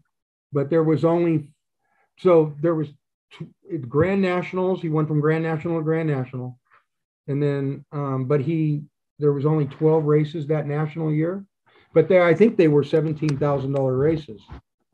So the pros were for, for first place. wow. The pros were actually making money at one point. The corporate money was actually there for the salaries for them. I don't know how they did that, but they need to be doing that again too. And then the amateur thing. But I think mainly if they could just get like, how do you, okay, so if you want to think about where the pros are at today, they all do have their own cars or family lives or whatever, the reason why they're pros. Okay, usually in some case. Um, but you got, we're, we're, we're still talking about BMX and living the BMX dream. By the time you're think considering racing pro, you're a professional and you're, you know, it's a job and it's all these things. No longer just, you know, going out and hitting some tabletops with uh, Bob and RC. You know, Right. It's a lot. It's a different dream now. yeah. And so I see him having this one, uh, the Nick Kinman things going on, the little rush out there that he's getting. all respectable, the YouTube stuff, and um, just the people behind him. Obviously, a champion. You know, a little happy when it comes to somebody else winning a race, but it's okay. And um, end of the day, a BMF. You know, uh, everybody. I think it's all about being an Olympic champion. I think even Danica as a child or kid, excuse me, when she was okay, she's, she's a young woman now, but she's that's what she wants. It's still she still has that childhood dream that right. she wants to be an Olympian. Okay. Right. And I with that being said, I know she wants to, she's okay with she wants what Lise Post is doing, she admires that and wants she respects that. Right. She, Can I have a life like that? though I want I'm a BMXer. I'm sure she's thinking, you know. So right. I know that the guys have that too. I see it close to me in my family and respect it, you know, hundred percent what they're doing. Richie's able to have done and the riders that he teaches and does. So it went from that little flat track to what it is today and all these rules, but that rule is that rule, and that's BMX. You know, we've gotten there. Okay. We've disqualified Ronnie plenty of times. We've got to figure it out. Anyway, um, Hey, I, I, want to say one more thing because while we're on here is that uh, I know that. Yeah, right. Please. yeah, here, here go. Yeah, um, we still got. How, was it difficult? Was it really? I'm sorry. Go ahead. James wants to know about how it was to have, get take a beating from Richie when he went pro. Remember, I was trying to finish that, but I just keep yeah. talking. That's okay. My dad called me Mr. Mouse sometimes. It was rough because when he first hit the pro scene, he took it very, very serious with each step he took. All right. Hit ass. Denny Davidow won double A that day. It was uh, January uh, Reno Pro Spectacular. Yeah. Probably had 35 pros there, all wanting the Trans Am. And uh, we're going to race Friday night, Pro Spectacular. That tracks. I, I remember that. That was a breakout race for me, Ronnie. That was that super small track. Yes, it was badass though, huh? Yeah, well, it was there was a lot of there was a lot of kung fu going on in, in those turns. Fighting out there all, all weekend, man. It was badass. Yeah. And then they changed the track a little bit for Sunday, Saturday or Sunday. Yeah. yeah. Like even kind of cooler because the Pro Spectacular was like, yeah, let's go get this, you know? Yeah. Yeah. Yeah, that was fun. And Denny David Davidow took it, and then Richie, Richie won Pro Cruiser. And then I remember what happened. It's funny because, and that was the mo that was the Pro Cruiser main that Richie won was the second I clicked in to to what I did in that that season. So I go into a turn, I high low Pete, and we crash. Richie goes right by me, and I remember just watching Richie go by, and I look down at the track and people are going and moving. It was like slow motion. My heart just started beating real fast, and it said, get on your bike and don't stop for one second. And I ran that finish line and I said, How do you solve that Ronnie? What and I'm paying attention to what I did because it meant something to me. I said to myself, when you get on that gate and that gate drops, you have a responsibility to that finish line. Everything you got, if there's points or money on the line. So in a semi, it didn't really matter. Just get top four. We got mains coming up. We got five of them tonight, fellas. Yeah, it's going to be a good running. yeah. And they don't have they have that once a year at the Grands. We get to, you know, and the kids go to these races. It's pretty I like following the races a little bit. I mean, I'm just saying. You saw Terry. Dude, I'm I'm with it, Ronnie. I think I I'm with it. I'm, I'm sorry I'm, you went down and you didn't get the car, and I did, or somebody else did. I don't know what they're arguing about what happened, but that's why I say, man, there's jujitsu. There's jujitsu and kung fu going on, bro. Hey, whatever happened to your car, Ronnie? Do you have well, any idea? I was parking uh, uh, the uh, four banger in storage to get on a plane to go win my next biggest failure, which would have been winning a as taken accept. Well, I would have accepted it because I would have already, but that was the uh, uh, 86 grand that weekend. So when I got there that weekend, I had already wrecked my car. I bent it in half. So I was coming oh. up, coming up this hill, and it was uh, raining, and I, I slid, and um, I started going like I was going off the canyon, and I corrected it and I went right in between the guardrails and bent the car in half. And I remember looking in the back seat and the roof was just getting closer to my son and uh, it was scaring the hell out of me. I wasn't going fast, but that accident happened. And so I parked it in storage and uh, Tammy took me to the airport and I flew off first. She was going to follow later after family uh, Thanksgiving. I need to get I was ready to go get my laps on, but I bent the car in half. And um, so uh, in the day, that's what happened to that one. And uh, yeah, yeah, yeah. The, you know, wow. I, I, never heard that. I never that. heard that story. Yeah, I never heard that. I never heard that story.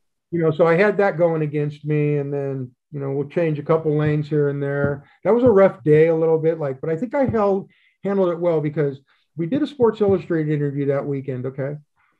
And I it was weird because the guy that come to see me from Sports Illustrated, where I met him, somehow they somebody said, "Oh, you can go see this guy wants to do whatever." I'm like, "Oh, oh, okay." So we go sit in this car, and it's just like the one that I bent in half the night oh.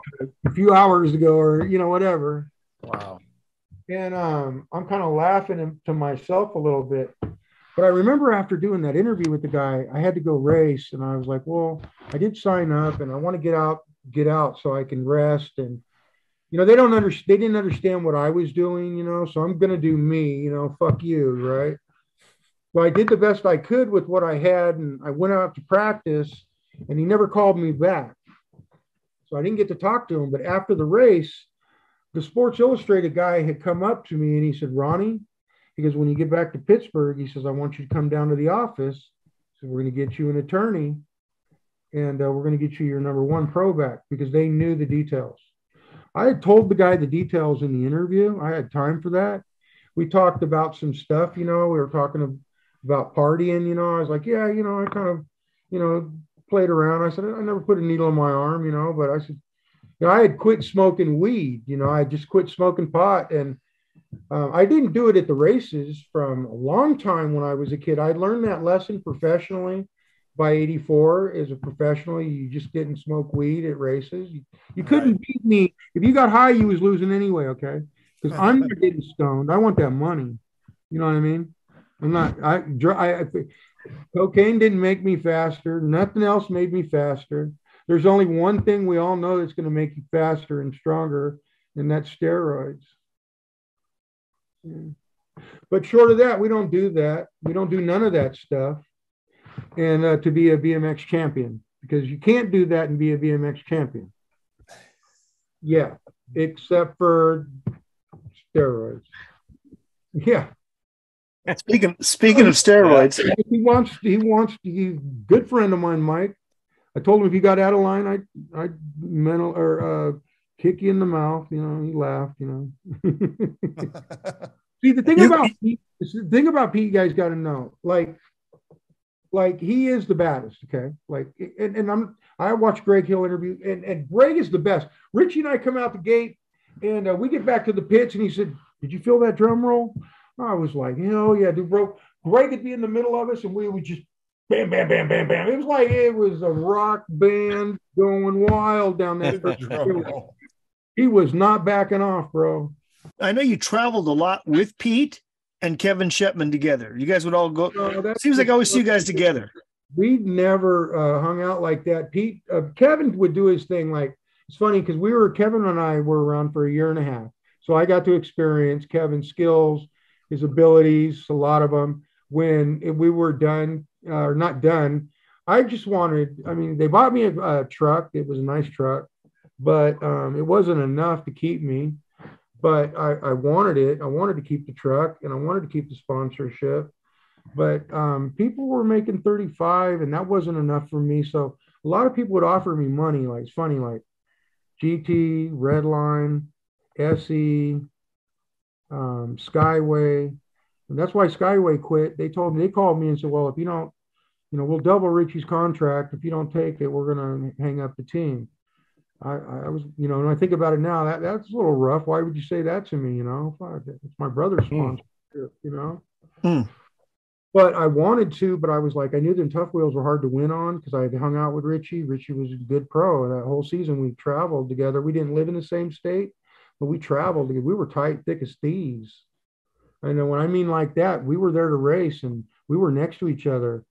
You know, we we had each other's back. We were racing. He was ready. If Harry cut me off, you had to deal with Richie next time, boy. I was like, yeah. Mm. Me and Tommy had our thing, even though they were all friends and teammates, Richie would be right behind my back. Like he's like, you know what? You can do a lot of things. I know Ronnie, but you're just not going to beat down on my brother like that. You know, you're going to leave him alone and give him a chance. You know, and and and I had, and then like Tommy was was a beast. Like he would get out of the two bike lengths ahead of you. You know, like, how in the hell do you do that? You know.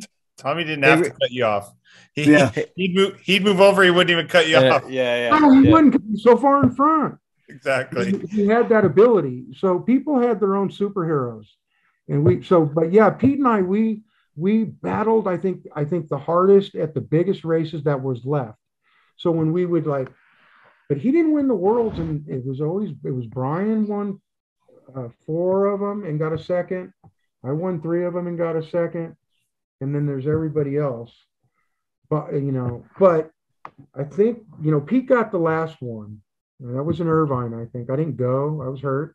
Richie told me, "Oh, I'm going to win." I said, "I hope so," but he didn't win. I was. Hey, Ronnie.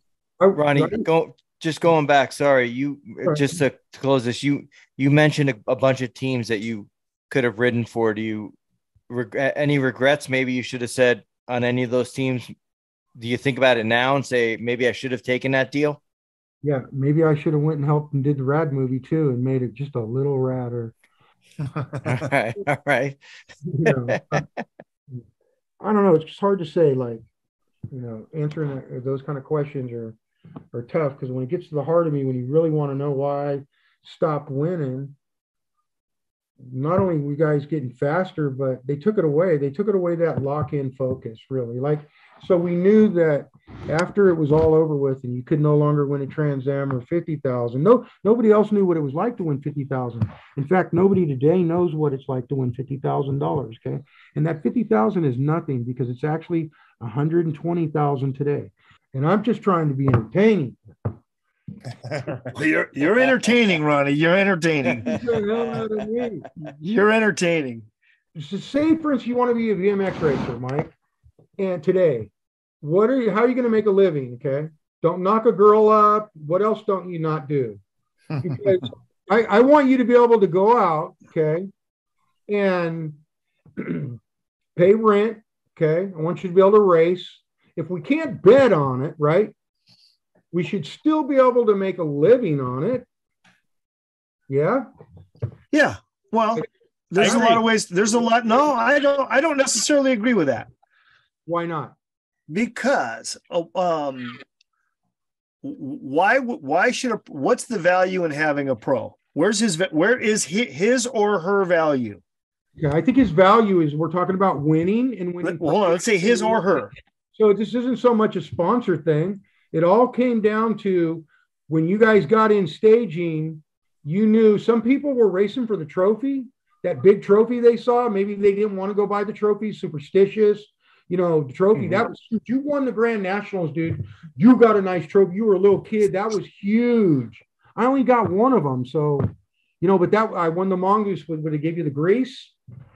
Dude, that was nice. You know, I was like, yeah, that was a nice trophy. But so, but when you turn pro, you're going to race money. You're going to race for money now, or you're going to go on to college, right? So, I don't know. I think that you could build more diamonds out of the rough, okay, so to speak. What what what was the question? I forgot. we, we were talking about some making a living at races. Okay. Oh, that's right. Keep racing BMX. Okay, and still making money. So if you're going to say, okay, well, we will do that. We're doing that. We have a race over here in the middle of summer. So anywhere you pick a race at, of course, we're already doing that. That's what we do, right? Okay. Right. And the guy that wins is going to be this featured, skilled, most talented guy on the planet. He's probably running 33 now or something. I don't know. Well, according to Brent Patterson, you're the most talented guy that ever rode a bike. And I'll tell you what, True. it's been it's uh Brian said that. Brian said that. He's well. Brent said that. He was my idol. He's uh, respectable to say that. Brent had it hard when I came pro. Okay, he had a tough time, and I he had. I imagine he had a tough time uh, with Richie. That that was not uh, cool for him, or his brother doing that to him like that. Same Well- with- you know, even I even admitted that when his girlfriend showed up at the track and Brian was in front of him, you know, he gave him a little elbow. That's that. That's and you know, BMX is a great sport. It's the greatest on the planet. It's what we got, but it's nothing compared to the dream that we once had and what's possible again. And I think Right. that, we have to create it somehow. It's going to be tough. Um, you know, nobody wants to smell a bunch of shit in a barn you know, field. You know, uh, you know, well, you I'll tell you this, you were the king of the shit in the barn fields. yeah. Yeah, it was. It was All- The whole thing, everything was good. It was a great sport. Great. I wouldn't change a damn thing. And we Uh, wouldn't and crazy, we wouldn't change a thing about you. No, I just I- want to say, man, it was great to have you on. You were you were exactly you were exactly what I thought you were going to be. Yeah. Crazy Ronnie. Yeah, but what we really care about, Ronnie, what we really care about is the great times that we had. And Yeah, uh, yeah. and you were part of that because you supplied so much great entertainment. Just you being Ronnie. It was a Yeah. great show. Whether you, you whether you were the cowboy with a white hat or the cowboy with a black hat, whether you had your white zero nine uniform on in the the motos and your black one in the mains, Yep. you you put on a great show, man, and and I know a lot of our a lot of our people that watch our show loved you for it, man, and we appreciate you coming on here and being a guest on the Dirty Knobs, man. It's been Thank you. great.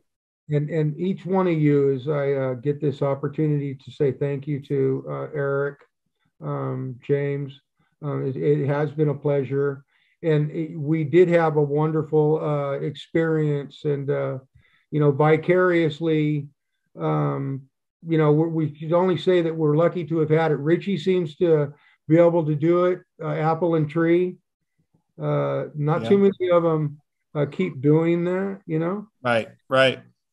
Mm. Right. That's why it's hard. It's uh, as I as I you know serenade off. Uh, that's why Richie doesn't Richie doesn't want to do these these kind of shows, um, simply because he wants he's writing the book. You know, he's writing the chapter. You know, it isn't over with yet. You know, it's been tough on the Andersons to, you know, Danica crashing, having a shot at number one this year Yeah. for her, you know, congratulations that, you know, she won her cruiser title again. You know, um, you know, of course, she has won uh, more NAG ones uh, in a row, maybe not on the same bikes, uh, but than anybody else, uh, amateur. Okay. Yeah. Now, um, and then you have Eric, right? And so Eric Rupe is the all-time one right now. So Danica is trying to, in the amateur, she has opportunity to fight for that as she would actually begin to turn 18 and move on to the pros.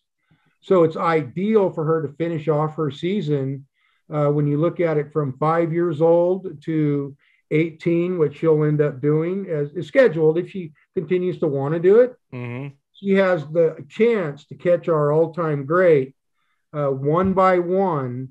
Uh, Eric is two ahead, I think. He has 21. Well, All she has to do is race another 45 years like he has. And yeah. As an amateur. He did, get, he, he did get a head start on her, you know.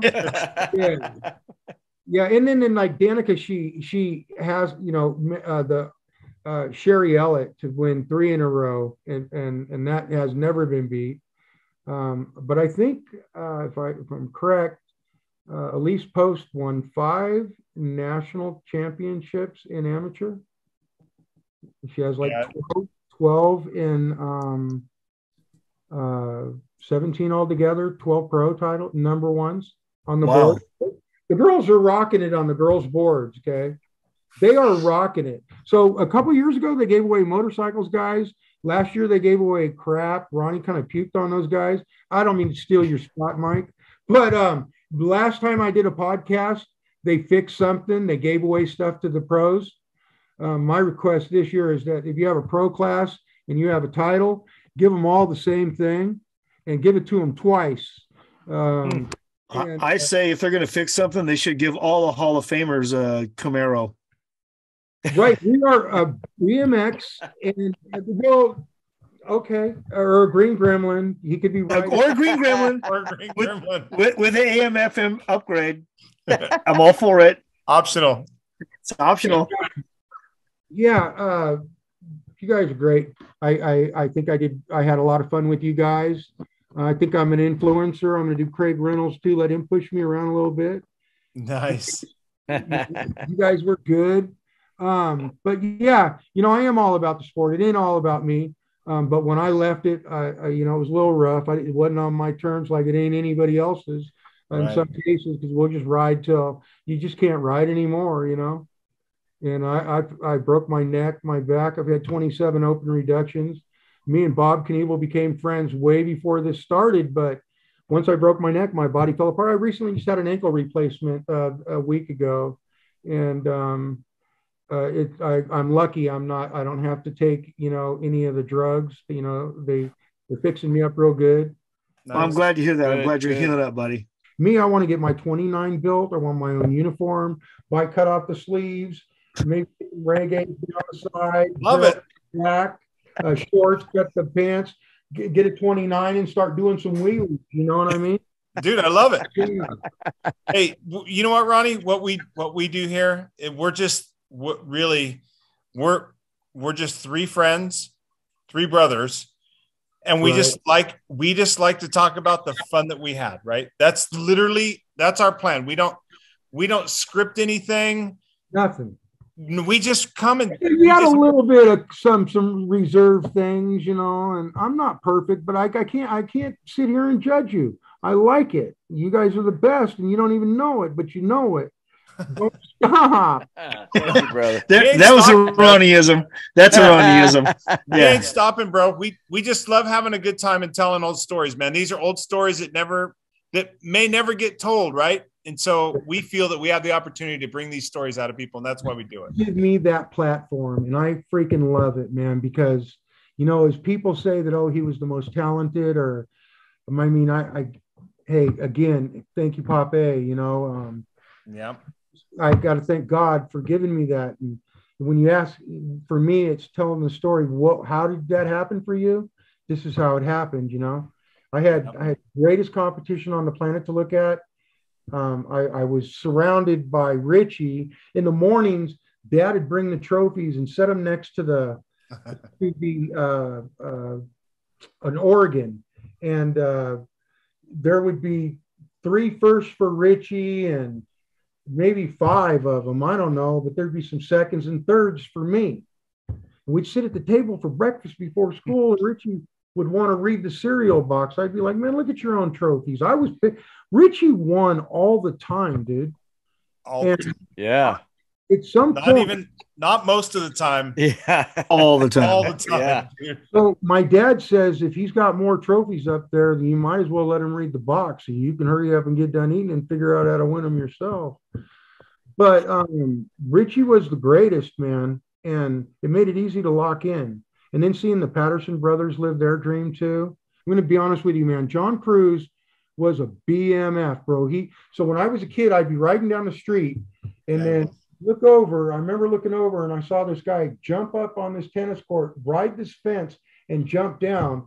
And you couldn't, I, when I was good, when I finally tried that shit myself, I couldn't do it for a while. yeah This was going up the, this fence. It went up. He just right at the fence where the wherever the fruit is, and right over the fruit, and then drop in like seven feet, drop down. that's Cruz bro This guy, I'll say the first pro race I ever won, I won because of John Cruz. And it was that night, Jill Horan got it, you know, the night after. So, old Frank, the, the haunting of Frank. Yeah, here it comes. i love it so I go into the first turn, I slide up cast on my wrist, I slide and I come out of the slide, and then we're a crazy horse here. I'm coming down the last straightaway, I'm in first place, and I'm looking underneath me, just pedaling with everything I got. There's a little double coming up. I look down and fucking here's John Cruz. I pull up over the double. John Cruz hits that thing and jumps over me, passes me in the air. I all of a sudden land. I'm like, he's still in the air, and I pedal, and I won by like this much. No way. He Gave That's me my amazing. first win by jumping. But John was the most inspiring of talent for me. Hollywood's hero. Hmm. He's still an Yep. inspiration. He's still in it. Certainly to me, he's a he's he's still my hero, and he's still an inspiration. yeah, him and Charlie Venegas are like the ones to me, even though he was a kid and he had all that talent, maybe he didn't take it as far as he could have. There were other things that, you know, he just took way too far. The girls probably know what I'm talking about, but and um yeah, so O King Ding there, but he could do some business on that bike. Very, very talented. Yeah. And he was good, he was good racer. He was fair about it, but he had a lot of talent. Um, He got a lot of bobos. yes, He got a lot of bobos. There's a lot of bobos. Yeah, that that he told me one day. He says you can have all the girls in Vallejo, and then one day I said thanks for all the girls in Vallejo. Yeah. Well, I've been I've been through Vallejo. That's not a big prize. That's not a great prize. There's It's not no, a great prize. there's no prize in that. Um, when we lived there, it was a small town. We had a track, and that's where you know I obviously got involved. But John, John had had the talent. Uh, Brent had some of that too. Like I remember going to Brent's house one time, and they took us. I was probably 13, and Brent, we come up to this hill, and I'm looking down, and I look back at these guys, and I'm like, how can you do that? Because you don't even see where you're. You can't see the other side. You can't see, and it's way up there. And Brent just rolls off of it and goes down it, and I'm like, oh, he how did he? And I saw it. I was like, well, that's how you do it. And I was like, I have to do that. So you basically had to roll over and say, I'm willing to die. Okay. And then just push down and stay at a certain spot and you could make it. But Brent was doing that stuff. John could do that kind of stuff. Anything that you think of, John could do that. Brent said he wasn't a very good jumper. He was a good speed jumper. Probably Yeah. Anthony was probably the reason why I like talking about it because some of the things they talked about were the exact things that I saw in these riders. Anthony Sewell was probably the fastest ever. And uh, I got to experience that later. Tommy Brackens, he had some of that. Pete had some of that. He, he had some of that. Um, uh, Sean Texas had a little bit of some of that. He, he they they say that he was. I personally didn't experience that. I know Sean came down. Him and Richie. Uh, I flew in, and Sean and Richie were there, and so we go up over an overpass. We come down this uh, deal light screen. We go around full speed, and I just took off from them. We get down to the other side, and Sean and Richie are like, I don't know how he does it, but you know, I could walk because I was living in Pittsburgh. That frat, that air out there, uh, pounding in that good breathe, that good uh, thick, thick Thick Pittsburgh air. yeah. So, but Sean later picked it. It was funny. Sean, Sean had a girlfriend in Vallejo. That's why he was there. But he, Sean actually, um, man, he was there 10 years later too, but 20 years later. I, I've seen him recently. He's big as ever, you know, same size, big guy. I'm sure his bars are bent, you know. Mike, the last time you practiced, did you get up there sideways? Yes, every single time. every single time, every single.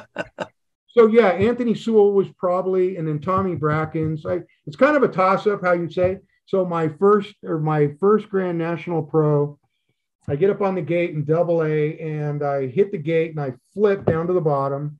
I get up and I get second behind Kevin McNeil, and I win UBR number one pro. And in Pro Cruiser, um, had a good lap. I just remember coming out of the last turn and old Anthony pushing off with one leg and just kind of on a cruiser and just kind of motor into the finish. And I got second behind him there, but I'd already seen him in as an amateur. So I got two seconds that day. But Anthony Sewell, um, by the time I got to, to challenge him, uh, it was funny. He couldn't do it like he could when he was younger. I don't know why. I don't know why, but that sucker uh, was probably the fastest for a minute. For a minute, you know, he was. He was. Well, we all ha- we all have our minutes. We do, and I think that's what's so neat about us. And, and every one of us had to have some blessing because that other guy over there, he wasn't playing around either. And so if you actually, you if you did not get up on the gate and think you were going to win, you didn't have a chance anyway. So Yeah. imagine this, Mike. When I was as cocky as I was, you got up on the gate, and I saw a video one time, and they said something like, something about he, you don't know where he's going to go, or he, you know whatever. He, the one in uh, uh, Indiana, where Ronnie didn't stop for one second. Oh, another one of those. But Okay. you know, you actually, I mean, I don't think you got up on the gate that moto thinking you, you were going to lose. I mean, after that whole weekend's beating I gave you guys, I think it by that third round, you know, when I high load y'all, you know, moved along with Richie up there and whatever, Tommy. Um, I don't think you got up on the gate thinking by then that you was going to lose either. You know, I didn't, you know, but, but, but we're going to run it anyway. We got, you know, there's some money and maybe Ronnie won't win. Hey, so I went to Baltimore. See that? That's how I raced. Maybe Ronnie won't win. Maybe we'll cut the track and we'll stop him from winning any more races because that's what it took. Okay. That's what it took. And I'm going to tell you. So, um, Mike, I remember going to Baltimore, Maryland. They had the best pizza ever. So pepperoni. Oh, whoa, whoa, whoa, whoa, whoa. JV's not going to let you get away with that. Yeah. JV's not going to let you. I don't know. Uh, go ahead. Go ahead, Ronnie. So they had this, they had this pizza. place, it was really good. That was probably the best part of my weekend because I was pissed at you. This and so, but I got over it. So your sponsor was there. It was the town your sponsor was from. And Okay.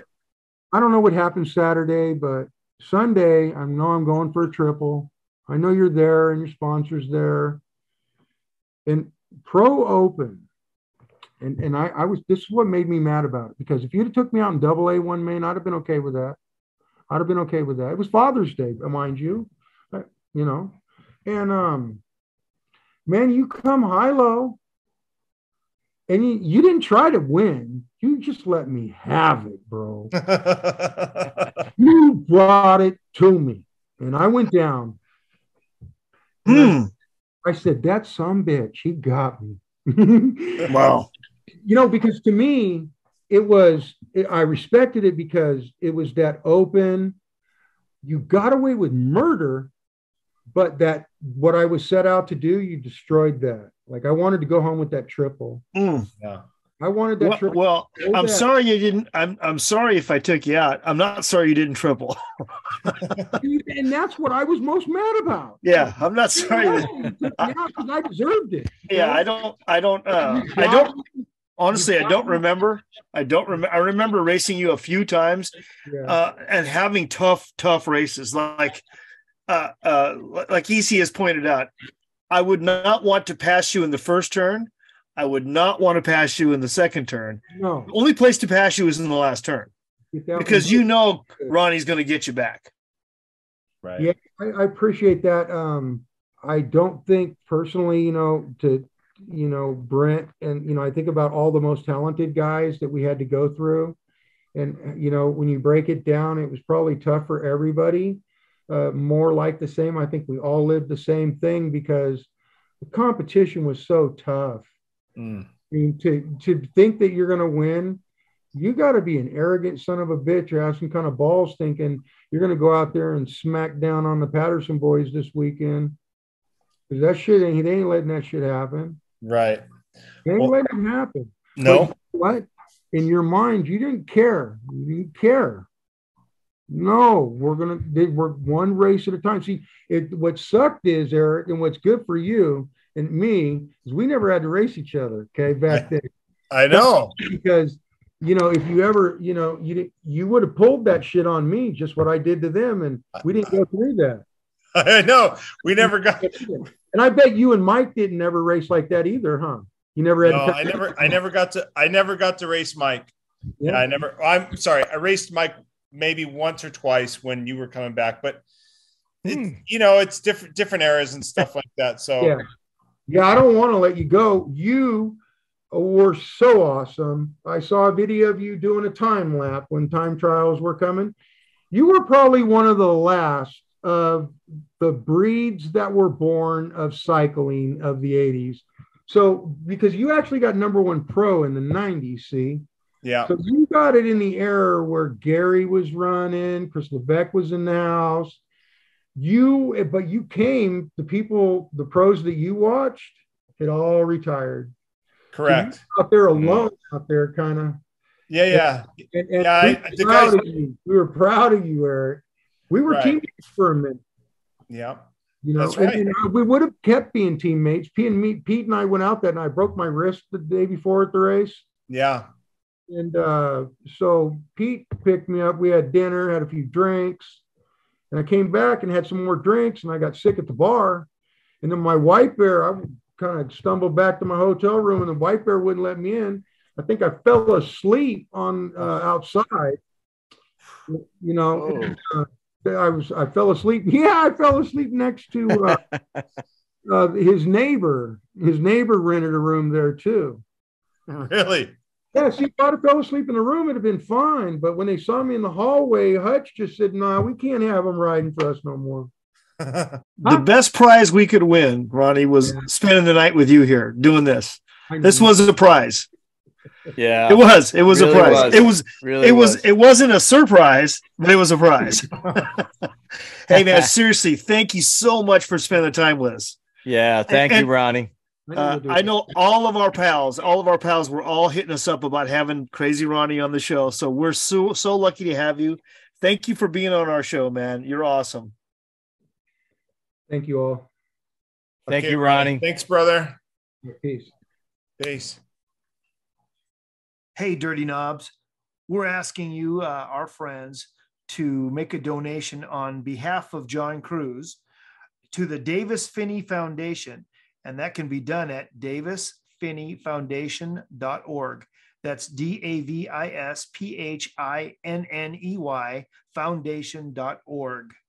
Listen, your uh, your gift makes a difference, to, and together we're helping people live better and building healthier Parkinson's communities. So, listen, on behalf of John Cruz and the three of us here at the Dirty Knobs, thank you, man. I appreciate it. Well, I hope you enjoyed that one, you bunch of dirty knobs. I'm going to send a box out to somebody who subscribes. So please do that. Subscribe, hit the subscribe button. Comment if you have anything to say. We'd love to hear it.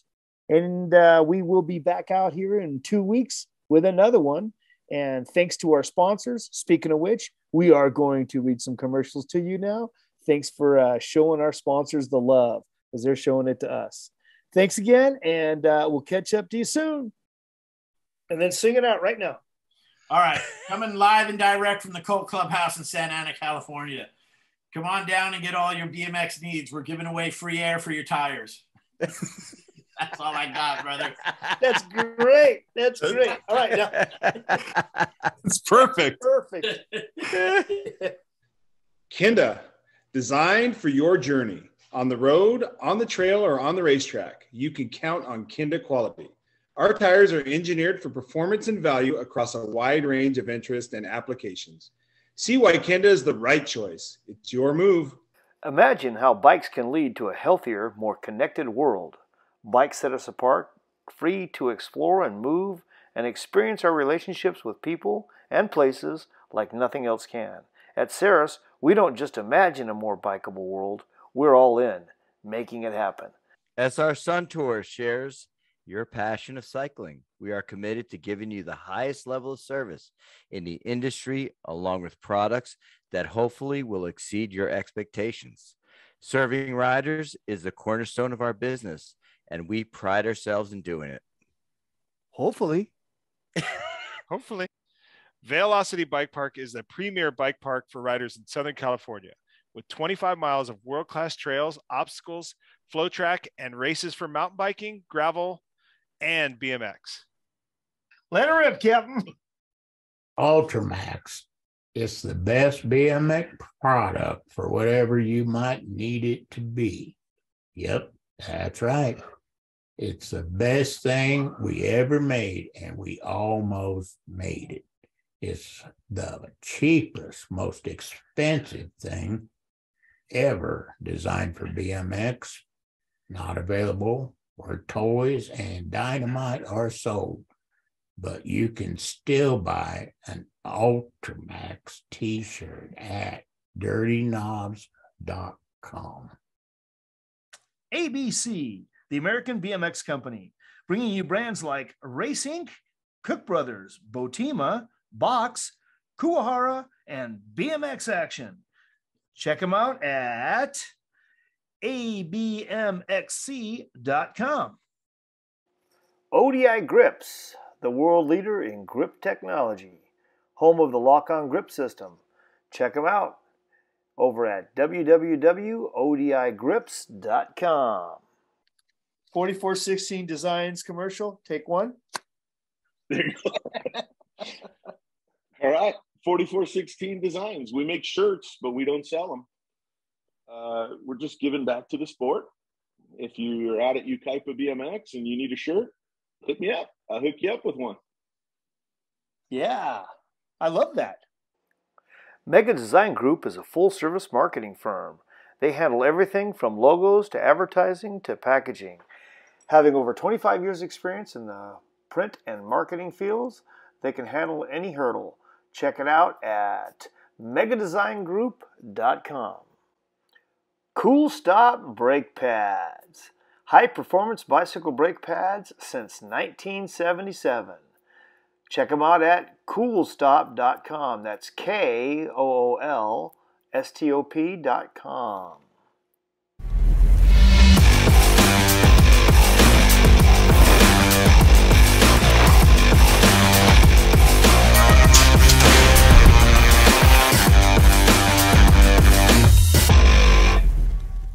Supercross BMX. What can we say? Our lives revolve around BMX. Founded in 1989 to build the ultimate BMX race frame, they've never strayed from that vision. Hey, for more details, check it out at supercrossbmx.com. AME Grips is dedicated to using all of its manufacturing strengths, including engineering, research, and development, to successfully prepare for future growth while demanding that the quality of its products provide consumers with complete satisfaction. Making grips since 1974. Check them out at amegrips.com. If you have a Sena cycling helmet, you know what it's like to ride connected. Sena got their start in communications for the motorcycling industry, where they're now a leader. Sena brought their same tech that goes into those helmet to helmet motorcycle communication systems into cycling helmets. Sena bike helmets have an integrated microphone and two speakers hidden right into the shell. Sena helmets connect together on a mesh or Bluetooth network so you can talk to your friends while you ride without shouting over wind noise, even if you're not side by side. That is super cool, especially in the trails. Sena helmets also pair with smartphones, so you can listen to your playlist without blocking out ambient noise, and you can take phone calls and even hear turn by turn GPS directions. Hey, support the podcasts that support us, our friends. Uh, the fine folks over there at All Things BMX, which is our favorite Wednesday night live podcast, as you know. Uh, our buddies over there at Beer Budget BMX, uh, Big Bike BMX, and BMX Weekly. Check them out. Check them out. Our friends. Keep it dirty.